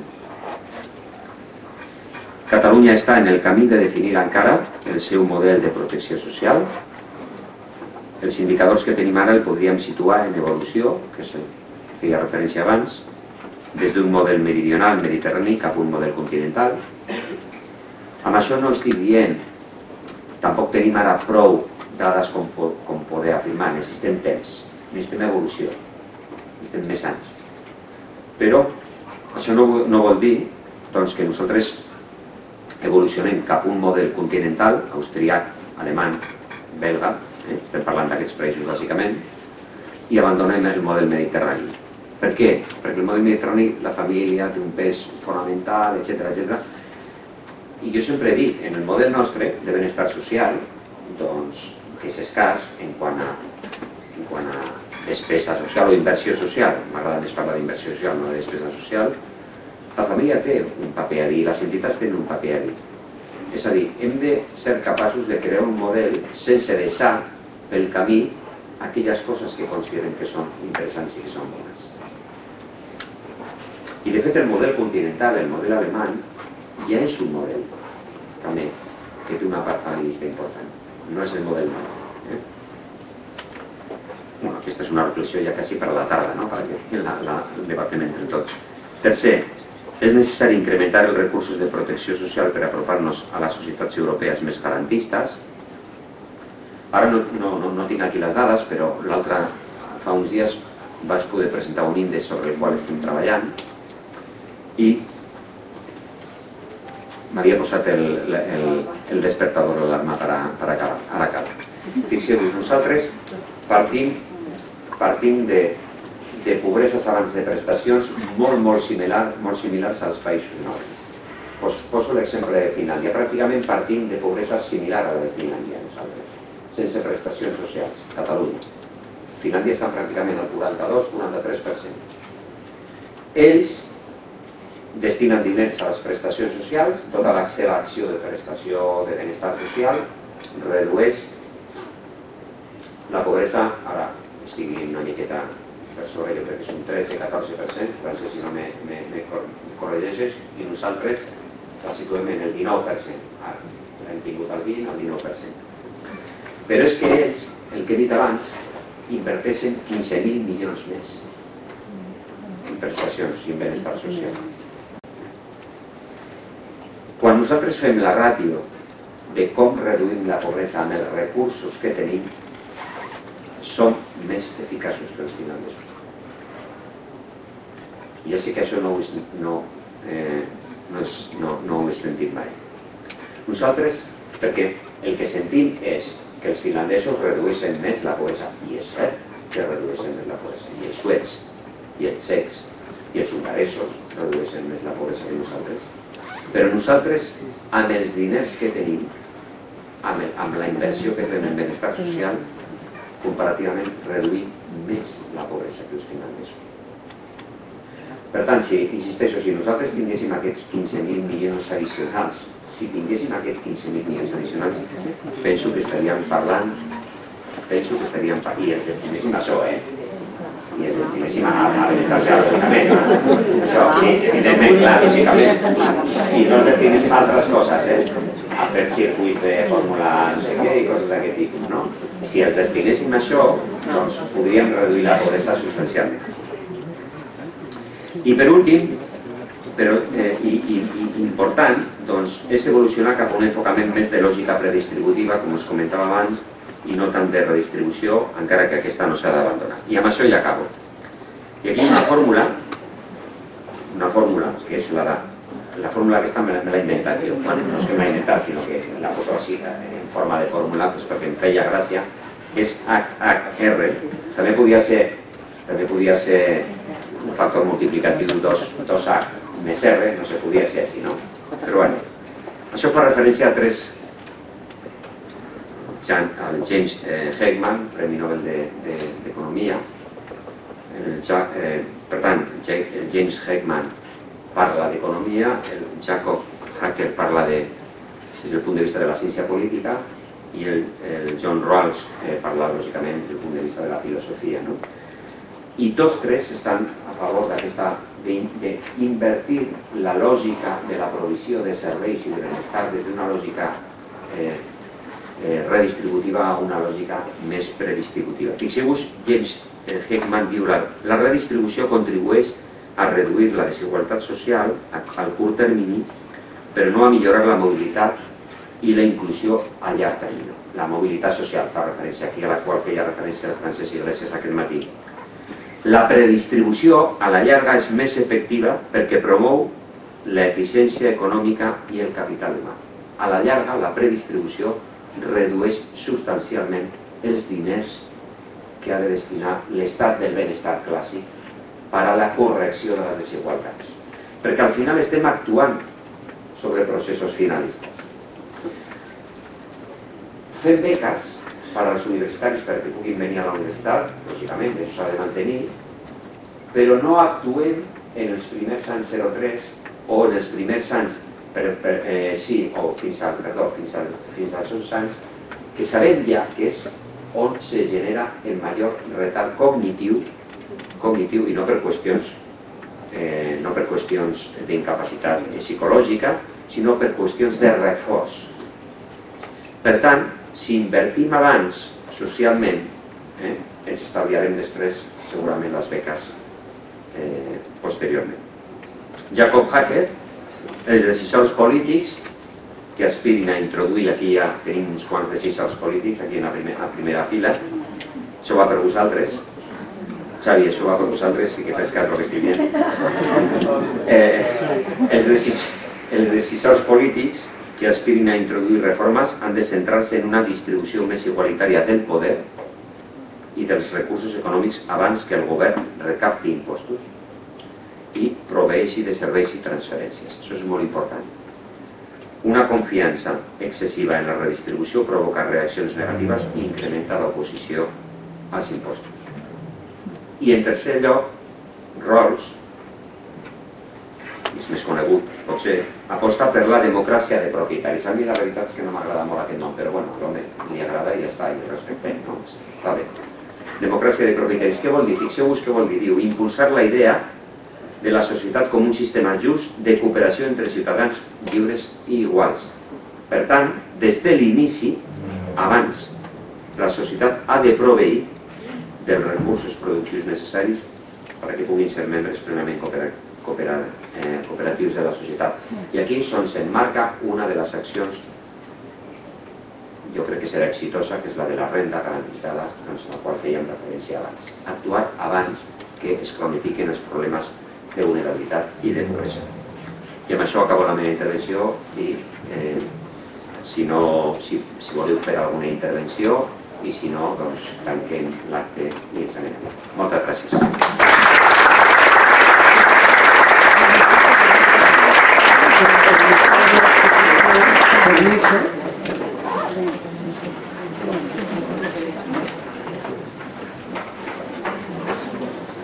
Si voleu algú intervindre o fer fi, dir la vostra, teniu... Sí, hem volgut, hem, hem, hem volgut fer l'horari europeu per assajar, per assajar una mica a veure com sortia. Jo crec que està sortint bé i és d'agrair. La idea que no he dit abans, la idea és que avui a les 5 de la tarda estiguem tots fora i conciliant segurament la majoria. Eh, per tant, de dues i mitja a les dues i mitja pujarem ja directament de dinar a les aules 415, 416, 417 i 418. Ahí estaran esperant les persones que coordinaran, coordinaran les taules. Estarem fins a les 4 i quart treballant en les aules fins a, la, fins a les, fins, sí, fins a un quart de cinc i després tornarem aquí a un quart de cinc farem la sessió plenària de resum, deliberativa, digueu-ne com vulgueu, i a les 5 marxarem tots a casa de casa. Bueno, doncs, que aprofite.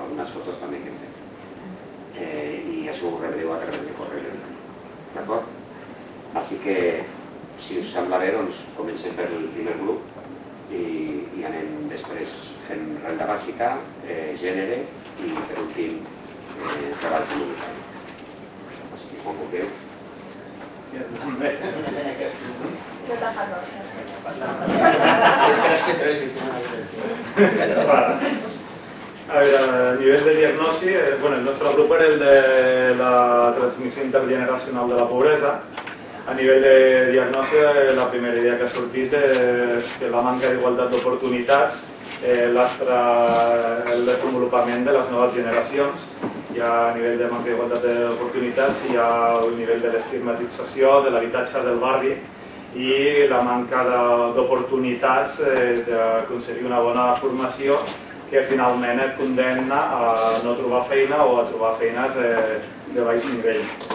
Eh, per una altra banda, hem vist que quan se vol atacar la pobresa s'ataca l'urgència, però no l'arrel del problema, en la qual cosa acabem eh, eh, cronificant les situacions. I moltes vegades el que fem és eh, crear famílies dependents on ja es crea una cultura de la dependència econòmica de l'administració, en la qual els fills aprenen a viure de, de la caritat pública, per dir-ho d'alguna manera. Eh, era el cas que comentava ell, que coneixia casos de nanos que en arribar als 18 anys anaven a demanar la, la renda mínima d'inserció. És, és un, diguem-ne com un cas extrem en què ha la cultura, la cultura del barri, la cultura de la teva família, eh, el modus vivendi que has vist a casa teva, eh, t'indueix a pensar que no tens una altra sortida que viure de, del, del subsidi. Eh, D'altra banda, bueno, de la referència a les dinàmiques familiars, el fet que les persones que viuen al dia no els permet planificar el seu futur. La qual cosa, per exemple, el tema de les persones que es dediquen a, recur, a recollir ferralla, doncs eh, difícilment planificaran una búsqueda de feina o planificaran una altra cosa perquè s'han de passar el dia eh, voltant i és una feina que els nens aprenen des de ben petits. Eh, n'hem parlat també de l'efecte de la bombolla immobiliària, quan en els nostres instituts eh, els nens deixaven d'anar a classe als 14 anys perquè el mateix dia que feien 16 s'anaven a treballar amb el pare amb unes expectatives salarials absolutament desmesurades, tot això es va venir a baix, teníem nanos de 19-20 anys endeutats, acostumats a tenir salaris molt alts i que no tenien les competències bàsiques que podia tenir un nano de 6 de, de primària, i alguns d'aquests ara ja tenen fills, no ha millorat les seves expectatives de vida i estan reproduint els patrons de, de pobresa i de dependència econòmica amb les seves famílies. Uh, la necessitat d'establir una, una renda familiar que, que permeti una certa conciliació familiar també apuntaven eh, doncs que es concentren en molts casos eh, famílies amb pocs recursos això sortia també en, en l'estudi que havia fet crec que l'Àngel, amb famílies amb molts fills. Eh, en molts casos, si eh, famílies que tenen 4, 5, 6 fills, eh, la majoria de vegades la dona no pot treballar, eh, o ja ni es planteja tan sols la possibilitat d'entrar en el mercat laboral, això evidentment eh, influeix en baixar les expectatives salarials i aquesta manca de conciliació familiar doncs, eh, influeixen en l'augment de la pobresa. I per últim la, hem parlat de la incidència del mercat de treball eh, la, i la manca de, de correspondència entre l'oferta i la demanda. Tenim un percentatge molt alt de gent molt formada, molt poqueta gent amb estudis tècnics de formacions professionals i molta gent sense cap tipus de formació, quan el mercat de treball és al, al revés, on hi ha més feines és a la part mitjana la majoria dels que tenen titulacions eh, universitàries eh, no troben feina de lo seu i han d'empènyer cap a baix a les titulacions tècniques i després hi ha una gran, eh, una gran competència per les feines de baixa qualificació que eh, tiren més cap a baix encara eh, condicions laborals i salarials. I això eh, redunda una altra vegada en eh, la transmissió de la pobresa perquè són eh, persones i famílies que estan abocades a eh, viure amb, amb pocs recursos i amb una, i amb una situació de precarietat laboral. I per últim parlàvem de, de l'estigma. Hi ha molts factors d'estigmatització a la societat que, que no permeten que les noves generacions se'n surtin i puguin accedir a igualtat d'oportunitats amb, amb una vida plena. Estigma de barri, tots sabem que hi ha barris que millor no dir que hi dius, uh, estigma d'ètnia, estigma de procedència nacionalitat, estigma de gènere, estigma d'edat, tots aquests estigmes, quan ja més eh, toquen dos o tres junts, ja oblida tant, influeixen en, eh, bueno, en que aquestes famílies eh, ho tenen molt més difícil, ho tenen molt més difícil els pares, però també ho tenen molt més difícil els fills. Tot això comporta una exclusió que es transmet generacionalment i genera alhora unes xarxes relacionals que són empobridores tant a nivell familiar com a nivell social. Eh, es deia que els molt rics i els molt pobres només es parlen entre ells, els rics és per elecció, els pobres no. Vale, como desafiaments així, dèiem de... Bueno, alguns desafiaments són propostes. De millorar tot el sistema de beques, però no sol a nivell de beques de menjador, de llibres, que són com més conegudes, sinó també una al sistema de beques, activitats de lleure, no? per poder garantir la igualtat d'oportunitat real entre la població, en tema d'idiomes, de la bretxa digital, del, del lleure, perquè considerem un desafiament important eh, per trencar la xarxa relacional empobrидora i guetitzada, que tindrà, no? tindrà altres tipus de referència, altres iguals, conèixer altres, no? altres persones que la seva pròpia família, però que de trencar la, aquesta transmissió, en aquest sentit el tema de beques és molt important. Oferir accés a xarxes relacionals més àmplies i diverses, que es connecta amb tot el tema de treball en xarxa, el tema de, de la inclusió. Eh, oferir possibilitats de desenvolupament de tipus, no? de, de, parlaven de talents, és a dir, en la diagnosi es veien que, que no volien ser molt catastrofistes, que era cert que existia, però que també hi ha casos de persones que se'n surten i tenen aquesta cadena, però que trobaven això amb l'exclusió i l'estigma i en què el sistema no ajuda a potenciar els talents perquè molts necessiten no? diners per poder desenvolupar aquest talent i llavors se queda entroncada la seva possible no? sortida d'aquesta línia. No? També tot el tema d'autoimatge, d'empoderament, obrir els serveis socials a tota la població, no, no són des de la voluntat dels serveis socials, sinó també des de la, que els usuaris entenguessin que anar a serveis socials no és un, no és un estigma, no? Era doble, eh? com que eren desafiaments utòpics no? o voluntats. També han desvinculat els serveis socials de les prestacions econòmiques, no? sortir d'aquesta imatge de que els serveis socials sol fa prestacions econòmiques per poder treballar treball grupal, treball emocional, empoderament de les persones, desestigmatització, però va en aquesta línia, no? desafiament doble, no? usuaris i serveis socials.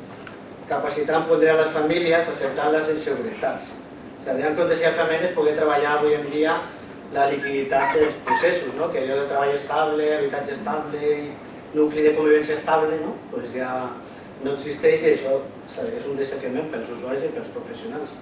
S'ha de treballar en aquesta no? liquiditat.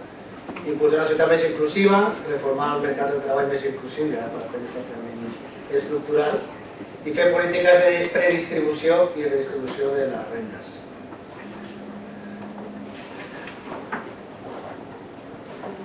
Després, eh, a nivell de propostes genèriques, havíem parlat de revisar els criteris de, de matriculació escolar per evitar eh, la formació de guetos. S'ha eh, constatat àmpliament que hi ha escoles on només hi van immigrants i que tenen eh, normalment eh, pitjors resultats educatius que d'altres. Surten de tant en tant notícies eh, de, de casos diferents, però precisament són notícia perquè passa una vegada. Si passés sempre no seria notícia. Llavors, el, eh, és, veiem que és un problema. En molts barris eh, les escoles només van immigrants, no va, només van persones de determinades ètnies i quan hi va un del país l'any següent es canvia d'escola, l'empadronen a casa de qui sigui perquè pugui canviar. Doncs eh, això el que dèiem és que cal revisar els criteris de matriculació per, per evitar això. Impulsar les escoles integrades públiques. Hi ha hagut estudis que el que diuen és que des que s'ha implantat eh, la jornada intensiva a l'ESO, el, el nivell de rendiment dels alumnes eh, socialment més desfavorits està baixant perquè a les 3 te'n vas a casa, a casa no hi ha ningú, eh, menges, menges sol el que t'hagin deixat, et poses davant de la tele i te'n baixes al parc. Eh, quan abans hi havia classe a les tardes, doncs, encara que les hores lectives fossin les mateixes, hi havia més temps, diguem-ne, d'entorn escolar, normalment dinaven a l'institut, hi havia com, com més contacte. I en aquest sentit també el que es deia és que era important impulsar el model d'escoles integrades eh, en què hi ha continuïtat entre la primària i l'ESO, perquè molts eh, nanos que en primària van bé, si no tenen un suport familiar, quan arriben a l'ESO eh, comencen a tenir problemes perquè el, el fet de canviar de tenir un tutor a tenir sis especialistes que cadascú va a la seva, si no tenen un suport familiar darrere que els ajuda a, en aquest canvi, els pot eh, anar molt malament. Eh, això, per exemple, és una de les coses que tenen les escoles privades i concertades i és, una, i és el que ells eh, anomenen una garantia d'èxit, però alguna cosa serà. Doncs, eh, entenem que podria posar-se també a les públiques. Eh, establir itineraris de segones oportunitats per joves que vagin molt més enllà del que són els PQPIs i de més, sinó itineraris ben, ben definits, més clars, més inclusius i, i més extensos. establir mesures de conciliació laboral per incorporar dones al mercat de treball i eh, fomentar canvis de mentalitat social i, i de desestigmatització. Vale, com a propostes concretes, que era difícil, eh, potenciar valors socials als espais de lleure i esportius, la idea des del típic exemple, no, que no hauria de ser anecdòtic, d'algun club esportiu que per jugar a futbol no, demana als nois i noies que aprovin no, els seus estudis, per exemple, és a dir, que no fos allò tot cadascú per lliure, sinó que es fos més, més integrat. Bé, el que hem dit abans, beques de lleure per activitats socials, a banda de tots els temes escolars, reforç escolar com una cosa més generalitzada, potenciar espais d'economia col·laborativa i, i ús del temps, un tipus van del temps, de, clar, en el cas de persones en pobresa, s'haurà d'impulsar des d'entitats del tercer sector, o des de la pròpia no, serveis socials, o des de la Unió perquè la població per si sol no, no aconsegueix fer processos d'autogestió, potenciar treball familiar amb menys de 0,3 anys, diversificar tot el tema d'habitatge, no? diversificar l'ubicació d'habitatges de protecció oficials, és a dir, per tancar aquests barris més guetos, a totes les zones de les ciutats, no? evitar no? pues les escales gueto, remodelar urbanístic, remodelació urbanística de barris degradats per potenciar la mobilitat interbarris i el que sempre és com un, no? una proposta de posar serveis i equipaments a determinats barris estigmatitzats que generen sinergies i que provoquin que gent d'altres zones de les ciutats es mobilitzin no? per poder anar a aquests, aquests nous equipaments no? més singulars, no, no, no concretat quins. Eh, evolucionar el model de los d'aliments no? per poder passar a models que ja s'estan fent en llocs, com supermercats socials, sobretot buscar la implicació dels usuaris, i aquí sortiran diverses propostes d'impulsar projectes de mentoria entre iguals, no? centres educatius, a nanos que estan funcionant als instituts per línies mateixos que s'ha d'estudiar, de, de drogodependents, de, no? de nanos tutelats, no? sempre buscar la mentoria entre iguals, no? més que entre professionals i, i usuaris. I en aquesta línia impulsar projectes que contemplen la implicació dels usuaris i la seva participació. Han discutit, bueno, dialogat sobre el tema de la contrapartida, no tant des de l'obligació, però sí des de compromís social, no? des de la sensibilització que és important no? a banda de, de rebre ajudes, doncs poder no? una part del que ha rebut aportar-ho a entitats o, o projectes. Impulsar escoles de pares i espais de trobada i d'ajuda mútua i per últim hem parlat d'impulsar intervencions educatives a domicili no? o a l'entorn proper, és a dir, no, no que l'usuari tingui que anar al despatx per simplificar sinó que els professionals vagin a, a on estan les persones, no? tipus set social o altres figures de, no? de poder apropar als usuaris.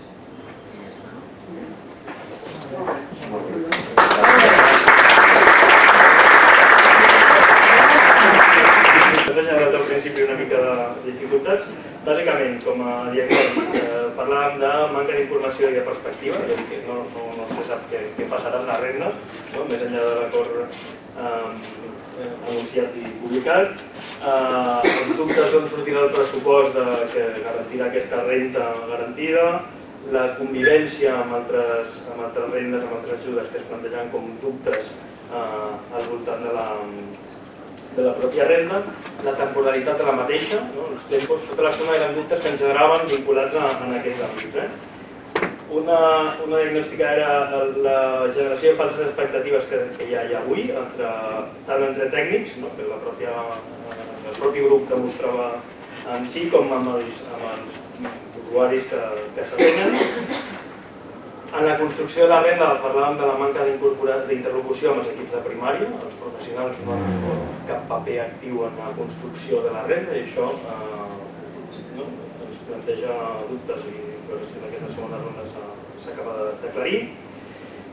També veiem com a diagnosi que és una gran oportunitat per, per treballar altres aspectes, no? seguint amb el que dèiem en el, en el grup anterior, obrir a, a treball més comunitari, i grupal. Eh, el, la, parlàvem de la renta mínima inserció eh, com un aprenentatge al fracàs, és a dir, quan neix, neix com una bona solució, avui amb la mirada enrere em sembla que no, que no coberta expectatives i per tant posàvem com a exemple de, a, a treballar. Sí. Uh, desafiaments uh, que es plantejaven, la sostenibilitat econòmica, per això també, la definició dels perfils, eh, no? és a dir, si serà universal, quina universalitat també ens, ens plantejàvem, que acabaria havent-hi, com es treballa el vincle amb el mercat de la, de, laboral d'aquestes persones, eh, la implementació o no, en, en, en com s'anirà aplicant d'ara fins 2020, assumir els nous reptes eh, en situacions cronificades, és a dir, els, els professionals, com a desafiament, tindrem no? haurem d'assumir aquest, eh, aquest repte d'assumir que no tots són cales i que per tant els cales tampoc solucionaran una part important de les dificultats que avui tenem. Eh, també el plantejament, i aquest és més, més en, en sentit utòpic, la, el tema de la redistribució del, del treball i com es millora el mercat laboral per no generar eh, dependències una a l'altra, eh, evitar les falses crides tant per professionals però també des dels mitjans de comunicació, no? que està succeint en molts, en molts altaveus. Eh, I, per últim, un, un desafiament és protegir els perceptors de la renda garantida dels treballs precaris, no? és a dir, que, com a, per, que no s'aprofiti una cosa perquè acabi, perquè acabi succeint l'altra. Bueno, doncs, respecte a les propostes, que s'han fet propostes més genèriques i concretes, jo seré més breu, eh, perquè les he, he agrupat en quatre grups. Una serien relacionades amb el treball, amb la feina, una altra seria relacionades amb el treball en xarxa que fem els professionals, amb la pràctica professional pròpia vale, nostra i, i fins i tot ha sortit una línia política, no? d'alguna manera.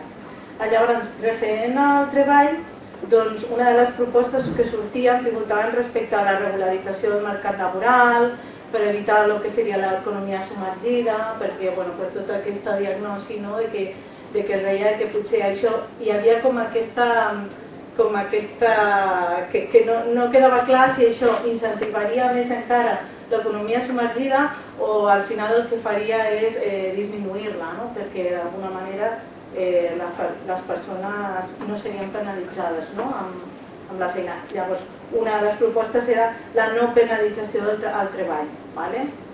que aniria acompanyat, aquestes propostes acompanyarien a la, a la renda garantida. Respecte al treball en xarxa, eh, principalment una bona coordinació interdepartamental, que això és un, un repte que ja portem molts anys, i delimitar les accions de tots els agents que treballin amb les persones perceptores de la renda garantida. Referent a la pràctica professional, eh, doncs eh, el que comportaria que seria la substitució de tots els ajuts destinats a la pobresa, sobretot aquelles doncs, ajuts d'aliments, PUAs, etc etc, pobresa energètica, vale? I, eh, i una desburocratització de les nostres tasques, tota, tota, fer desaparèixer tot, tot, tot, totes aquestes ajudes farien doncs, bueno, que desapareguin papers al final no, al treballador social i a l'educador social. No? Eh, això el que faria seria que els professionals tindrien més temps per, per potenciar el treball social, el treball socioeducatiu i el treball comunitari, vale? per l'apoderament de persones, grups i comunitat. I la línia política que ha sortit era que, de propostes era que eh, la renda garantida ciutadana fos, fos una prioritat a l'hora de, de fer els pressupostos i un compromís polític de continuïtat per part de tots els grups de, no, de que quan canvi la Generalitat o un grup, doncs que... vale? eh, com a propostes molt, molt concretes, eh, que hauria d'existir un registre d'ajut social genèric perquè els professionals eh, tinguin aquesta informació de quantes ajudes està rebent aquesta persona, a més de la renda garantida, ¿vale? i que el SOC eh, defineixi els perfils laborals, no? que quedin ben definits, què són els casos laborals i quins serien els casos socials no? a l'hora d'intervenir. Molt bé.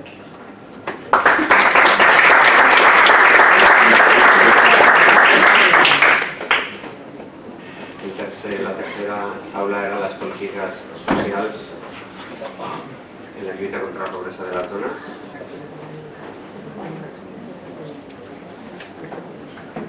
Bueno, hem de dir que venim d'una hora i mitja amb un grup molt revolucionari.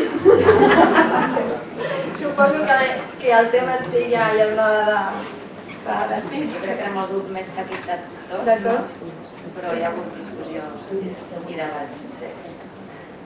Eh, bueno, com a diagnosi, eh, no, la, la intenció no era arribar a acords, però en tot el discurs era arribar a acords. Llavors, un dels primers acords era que, que fet de ser dona no? és un factor de risc que, i que per tant ja el fet de ser dona també et dona tens dificultats d'accés en els diversos àmbits de la inclusió.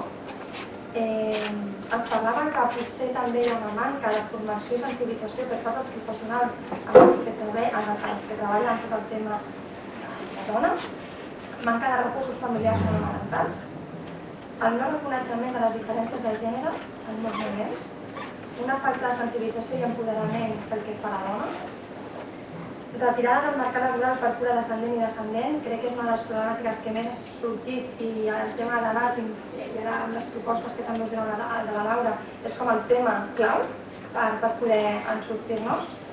Eh, manca de corresponsabilitat a la cura familiar i manca de valors socials, que està relacionat amb el que hem dit anteriorment. Eh, segurament també el centre fet a ser seria un tret de socialització, aquí entraríem també en el debat si és cultural o social, Eh, el simple fet de, de, de l'accés a la llengua i a la formació també fa que hi hagi, que siguin uns factors de risc afegits i l'herència d'una societat completament patriarcal. No? Hem de reconèixer doncs, que, que doncs, estem bàsicament en una cultura o en una societat que ens ha marcat bàsicament el paper de què és dona i com a desafiaments teníem que, bueno, doncs teníem polítiques, sí que hi ha polítiques d'igualtat i segurament en aquests últims 20 anys, 15 anys, no s'ha fet un, un esforç molt important, però potser aquestes polítiques d'igualtat no promouen realment l'equitat no? efectiva. Um, accés a un espai de poder i decisió en àmbits públics i privats, sabem que, que actualment l'accés a la dona en càrrecs públics i en la decisió de poder doncs, són, són escassos i la priorització d'altres violències. No? Fa falta, fa falta realment reconèixer no només la violència no? més física, sinó que el simple fet de ser dona, eh, el simple fet d'anar pel carrer i, i anar potser amb, amb, amb, amb diferent vestimenta, doncs el pot reproduir doncs, un sentiment de violència, sigui quina sigui la seva, la seva intensitat doncs, continuo unes propostes genèriques i concretes, eh, us convidem, o sigui, volem que participeu, eh, les que heu format part també de la taula, que qualsevol cosa que vulgueu incorporar ens ho dieu. Com a propostes genèriques hem dit, per una banda, promoure la coeducació a la infància i adolescència a nivell més preventiu, des de les primeres edats, des de 0 a 3 anys, a obligar la llei d'igualtat en òrgans de poders de decisió tant públics com privats, una mica lligat a la diagnosi que parlàvem, no? de, dels espais de, de decisió. Després parlàvem de polítiques que alleugerin a les dones eh, de les càrregues de cura, o sigui que es proveeixi des dels espais eh, públics i que s'alleugeri aquesta càrrega innata que té la dona en les tasques de cura. I, eh, com a última proposta genèrica, polítiques de l'accés de treball amb igualtat, molt genèrica i que, i que després concretem més. Passem a les propostes concretes pel que fa a l'àmbit laboral, eh, es parlava, no, perdoneu, no de l'àmbit laboral, on sí que hi té molt a veure, parlàvem d'implementar una renda per curar descendents i descendents i que tingués en compte el treball no productiu que no està ni valorat socialment ni econòmicament. Mm. Ha sigut molt interessant perquè una, un dels, dels discursos que teníem, no, que sí que és veritat que hi ha molts treballs que estem fent les dones que, que tenen una precarietat laboral a diferència dels homes, però que deien que tot i que promovéssim no? l'educació en altres carreres més de ciències, tot el que s'acabés convertint en el paper de dona també s'acabaria, tot el que s'acabés feminitzant s'acabaria també precaritzant. No? I això passa, per exemple, en, en, en, en, el, en el paper de les, dels metges o infermeres que s'ha acabat feminitzant i, per conseqüentment, s'ha acabat precaritzant. Bueno, podria fer aquest incís perquè crec que ha sigut un discurs bastant, bastant interessant. Després parlàvem de, de promoure recursos de suport per poder eh, tenir un accés igualitari a la feina i establir també eh, recursos per a la conciliació familiar efectiva, no només de la conciliació familiar de la dona, no? com és habitual.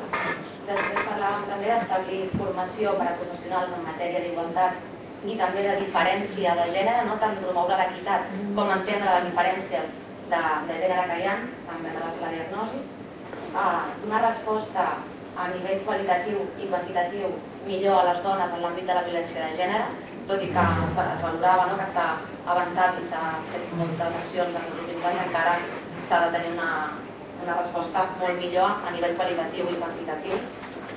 Parlàvem també a nivell laboral de permisos laborals de paternitat i maternitat que siguin obligatoris, igualitaris, intransferibles i consecutius, que sembla que sigui mentira que a dia d'avui encara estem parlant d'aquests temes. No?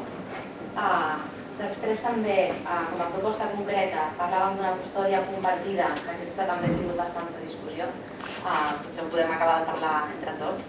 Custòdia compartida obligatòria, exceptuant casos de violència masclista o distància entre progenitors que no ho permetés. Ha estat una de les, de les propostes. I per últim, la proposta de promoure el debat i de traspassar el debat a la ciutadania incorporant a la dona a través d'assemblees de dones i també en debats eh, conjunts de la ciutadania entre homes i dones. I traspassar la veu i per establir aquestes i altres propostes. I això és tot el que hem fet. Molt bé.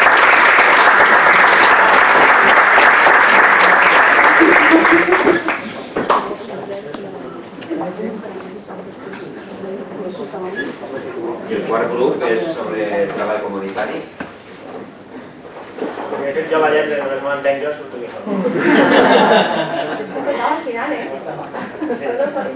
Uh, no sé si he intuït, però les nou persones que eren, vuit eren de l'administració i una de, vull dir, això també he intuït, però bé, no? Com a diagnosi hem comentat que hi ha dificultat del treball comunitari pel gran volum de tràmits administratius que avui en dia tenen els serveis socials bàsics, com comentava abans, que potser alliberar tràmits administratius burocràtics permetria als treballadors i educadors dedicar-se més al treball comunitari, que és molt important.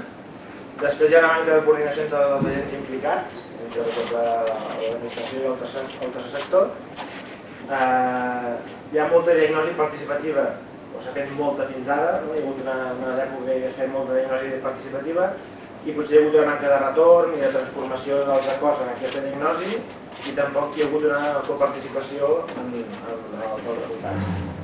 Hi ha un cansament dels agents socials en participar sempre en fase de, de, de diagnosi, se'ls se ha carregat molt i molts potser ja no volen participar perquè és de lo mismo. Eh, resultats eh, a curt termini, sigui, es demanen resultats a curt termini i el treball comunitari és més a llarg termini. La el treball comunitari acaba sent com una definició molt àmplia i per tant és un cul de sac, que a vegades el treball comunitari s'ha de tot. Eh, una manca de connexió entre el treball comunitari i els serveis socials bàsics, que a vegades ens dit que alguns ajuntaments hi havia serveis socials bàsics que, i per una banda el treball comunitari i que no estaven connectats del tot. Eh, les entitats també estan desbordades, per tant demanar-los a vegades segons eh, quines coses les entitats és desbordar-les perquè ja tenen molt volum de feina. Eh, també des del tercer sector que hi ha poca comunicació directa entre el tercer sector i l'administració. Potser nosaltres entre tècnics dins de la mateixa administració és fàcil parlar amb el CAP o amb un altre departament o amb un altre company, en canvi el tercer sector quan vol parlar amb el tècnic o l'alcalde o el regidor doncs, costa molt i aquesta comunicació és, no és directa ni, ni ràpida. I després també hi ha hagut una època un quart del que el tema del, de que el comunitari a vegades té modes, no? Pues, una moda dels rats urbans, l'altra moda de, de, de comunitari a modes, i que potser a vegades es dediquem a fer això a tot arreu igual. Després, també com a desafiaments, és trencar la compartalització de departaments, és a dir, que cada departament té el seu reconell i en bloc. Eh, Llavors s'hauria com a fer un treball, de, un treball transversal, que això és una mica llipus, també una mica proposta genèrica, incorporar el treball comunitari en tots els professionals, aquí potser estem barrejant des desafiaments i propostes, eh? Uh, que potser com malgrat el, creiem que els millors resultats surten uh, dels propis agents implicats, que no sigui el propi tècnic el que digui què s'ha de fer, sinó que els resultats han de sortir dels agents implicats i que han de ser tan imposats per l'administració l'administració ha de ser com un, com un recolzament, no? És dir, que falta recursos més econòmics, materials, d'infraestructura. Eh, i a repensar la cultura d'organització de serveis socials com la resta de departaments. No? Nosaltres fem canvis interns de com pensar i com treballar, incorporant aquesta visió del treball comunitari. una, una mirada inclusiva a, a la resta de departaments. No? Ja hem comentat, el cas d'Amposta sí que s'ha donat que el Departament d'Urbanisme ha, ha cridat els serveis socials per a l'hora de decidir, com potser altres ajuntaments això no ens passa de que el Departament de, d'Urbanisme o d'Esport, el que sigui, eh, tingui en compte aquesta visió de treball comunitari que potser des de les serveis socials sí que tenim ja més inculcada. I visualitat del eh, la visualitat del treball comunitari dona valor al treball comunitari. Hem de trencar aquesta visió economista de que no tot ha de ser resultats i valors, eh, sinó que el comunitari és cosa de termini i que per tant costa i només ha de ser mm, tan economista, que costa més avaluar-ho. No dic, això és una proposta concreta que més us explicaré. Com a propostes genèriques hem dit que fomentar el treball comunitari per visibilitzar l'exclusió, no tant des del punt de vista de que de que l'escola sigui visible, sinó que potser com a administració fem alguna activitat com a treball comunitari i això fa que, que puguem conèixer gent que està exclosa, sense aquest treball comunitari no seríem capaços de, de, de veure i... És que està Desenvolupar la xarxa també suposa augmentar la inclusió de, de les persones. No? Aquest treball comunitari fomenta la xarxa i per tant millorem la, la inclusió i la, i la, i la comunitat el treball comunitari com a instrument de prevenció, no tant de, de resolució, sinó sobretot de, de prevenció. El treball comunitari fomenta la corresponsabilitat dins de la comunitat i per tant és una millora dins de la pròpia comunitat i per tant tothom en surt beneficiat. Eh, una visió comunitària en el treball de l'administració, que hauria d'incloure aquesta visió, i implicació dels agents, eh, dels agents representants, tant de l'administració com com de les entitats perquè el treball comunitari sigui més eficient i més efectiu i que no se'l prengui en sèrio. I com a propostes concretes hem dit crear indicadors d'anàlisi i avaluació del treball comunitari. D'aquesta forma, tot i que sigui més complicat crear aquests indicadors, jo creo un indicador de resultats i de procés també, que això farà que els polítics o els, els alts càrrecs tinguin una, un element per avaluació d'anàlisi que per tant s'ho prenguin en sèrio i que la gent pugui apostar pel treball comunitari i per tant tota acció hauria de tenir un indicador no tan directe, sinó també pot ser indirecte. En el cas, per exemple, de que aquest any hi ha una activitat en participat menys joves, doncs, veure per què han participat més joves no és l'indicador, sinó veure per què. Doncs, perquè s'han ofert poques activitats atractives pels joves i per tant els joves no han volgut participar en aquest documentari. Aquest seria l'indicador, no tant la participació en nombre de joves, sinó quins, eh, quines activitats s'han ofert pels joves.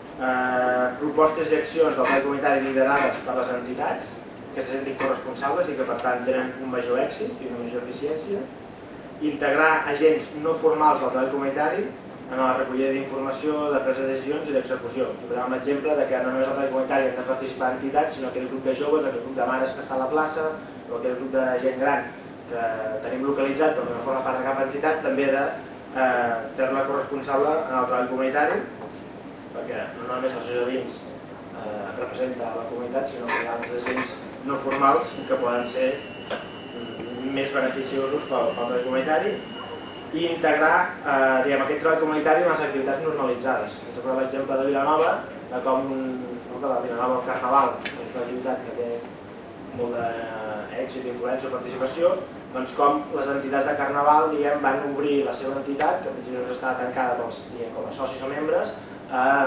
joves que potser no tenien accés per motius econòmics o per compra de, de disfresses en el carnaval. No? Llavors és integrar eh, aquella gent que per motiu que sigui no pot accedir-hi en les activitats normalitzades i per tant fet el comentari amb activitats normalitzades creiem que té més èxit i després fer una planificació conjunta entre departaments de l'administració. Això venia a l'hora de dir com fem que aquesta visió de, de comunitari dins de l'administració, que tothom tingui aquesta visió transversals, doncs a l'hora de planificar, no, de fer-ho conjuntament.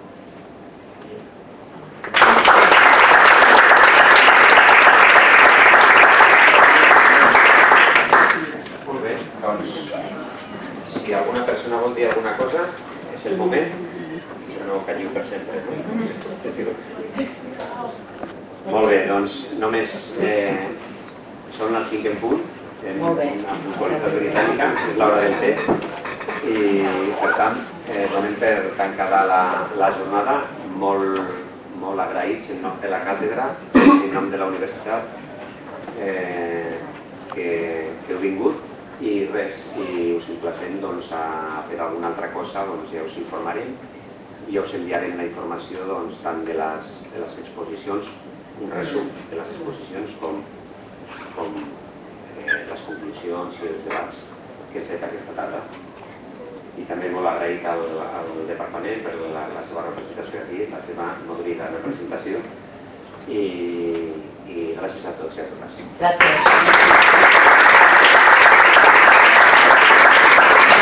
Perdoneu, i moltes gràcies als vuit coordinadors que hem tingut i coordinadores que hem tingut en els grups que han estat els que han fet la feina aquesta tarda.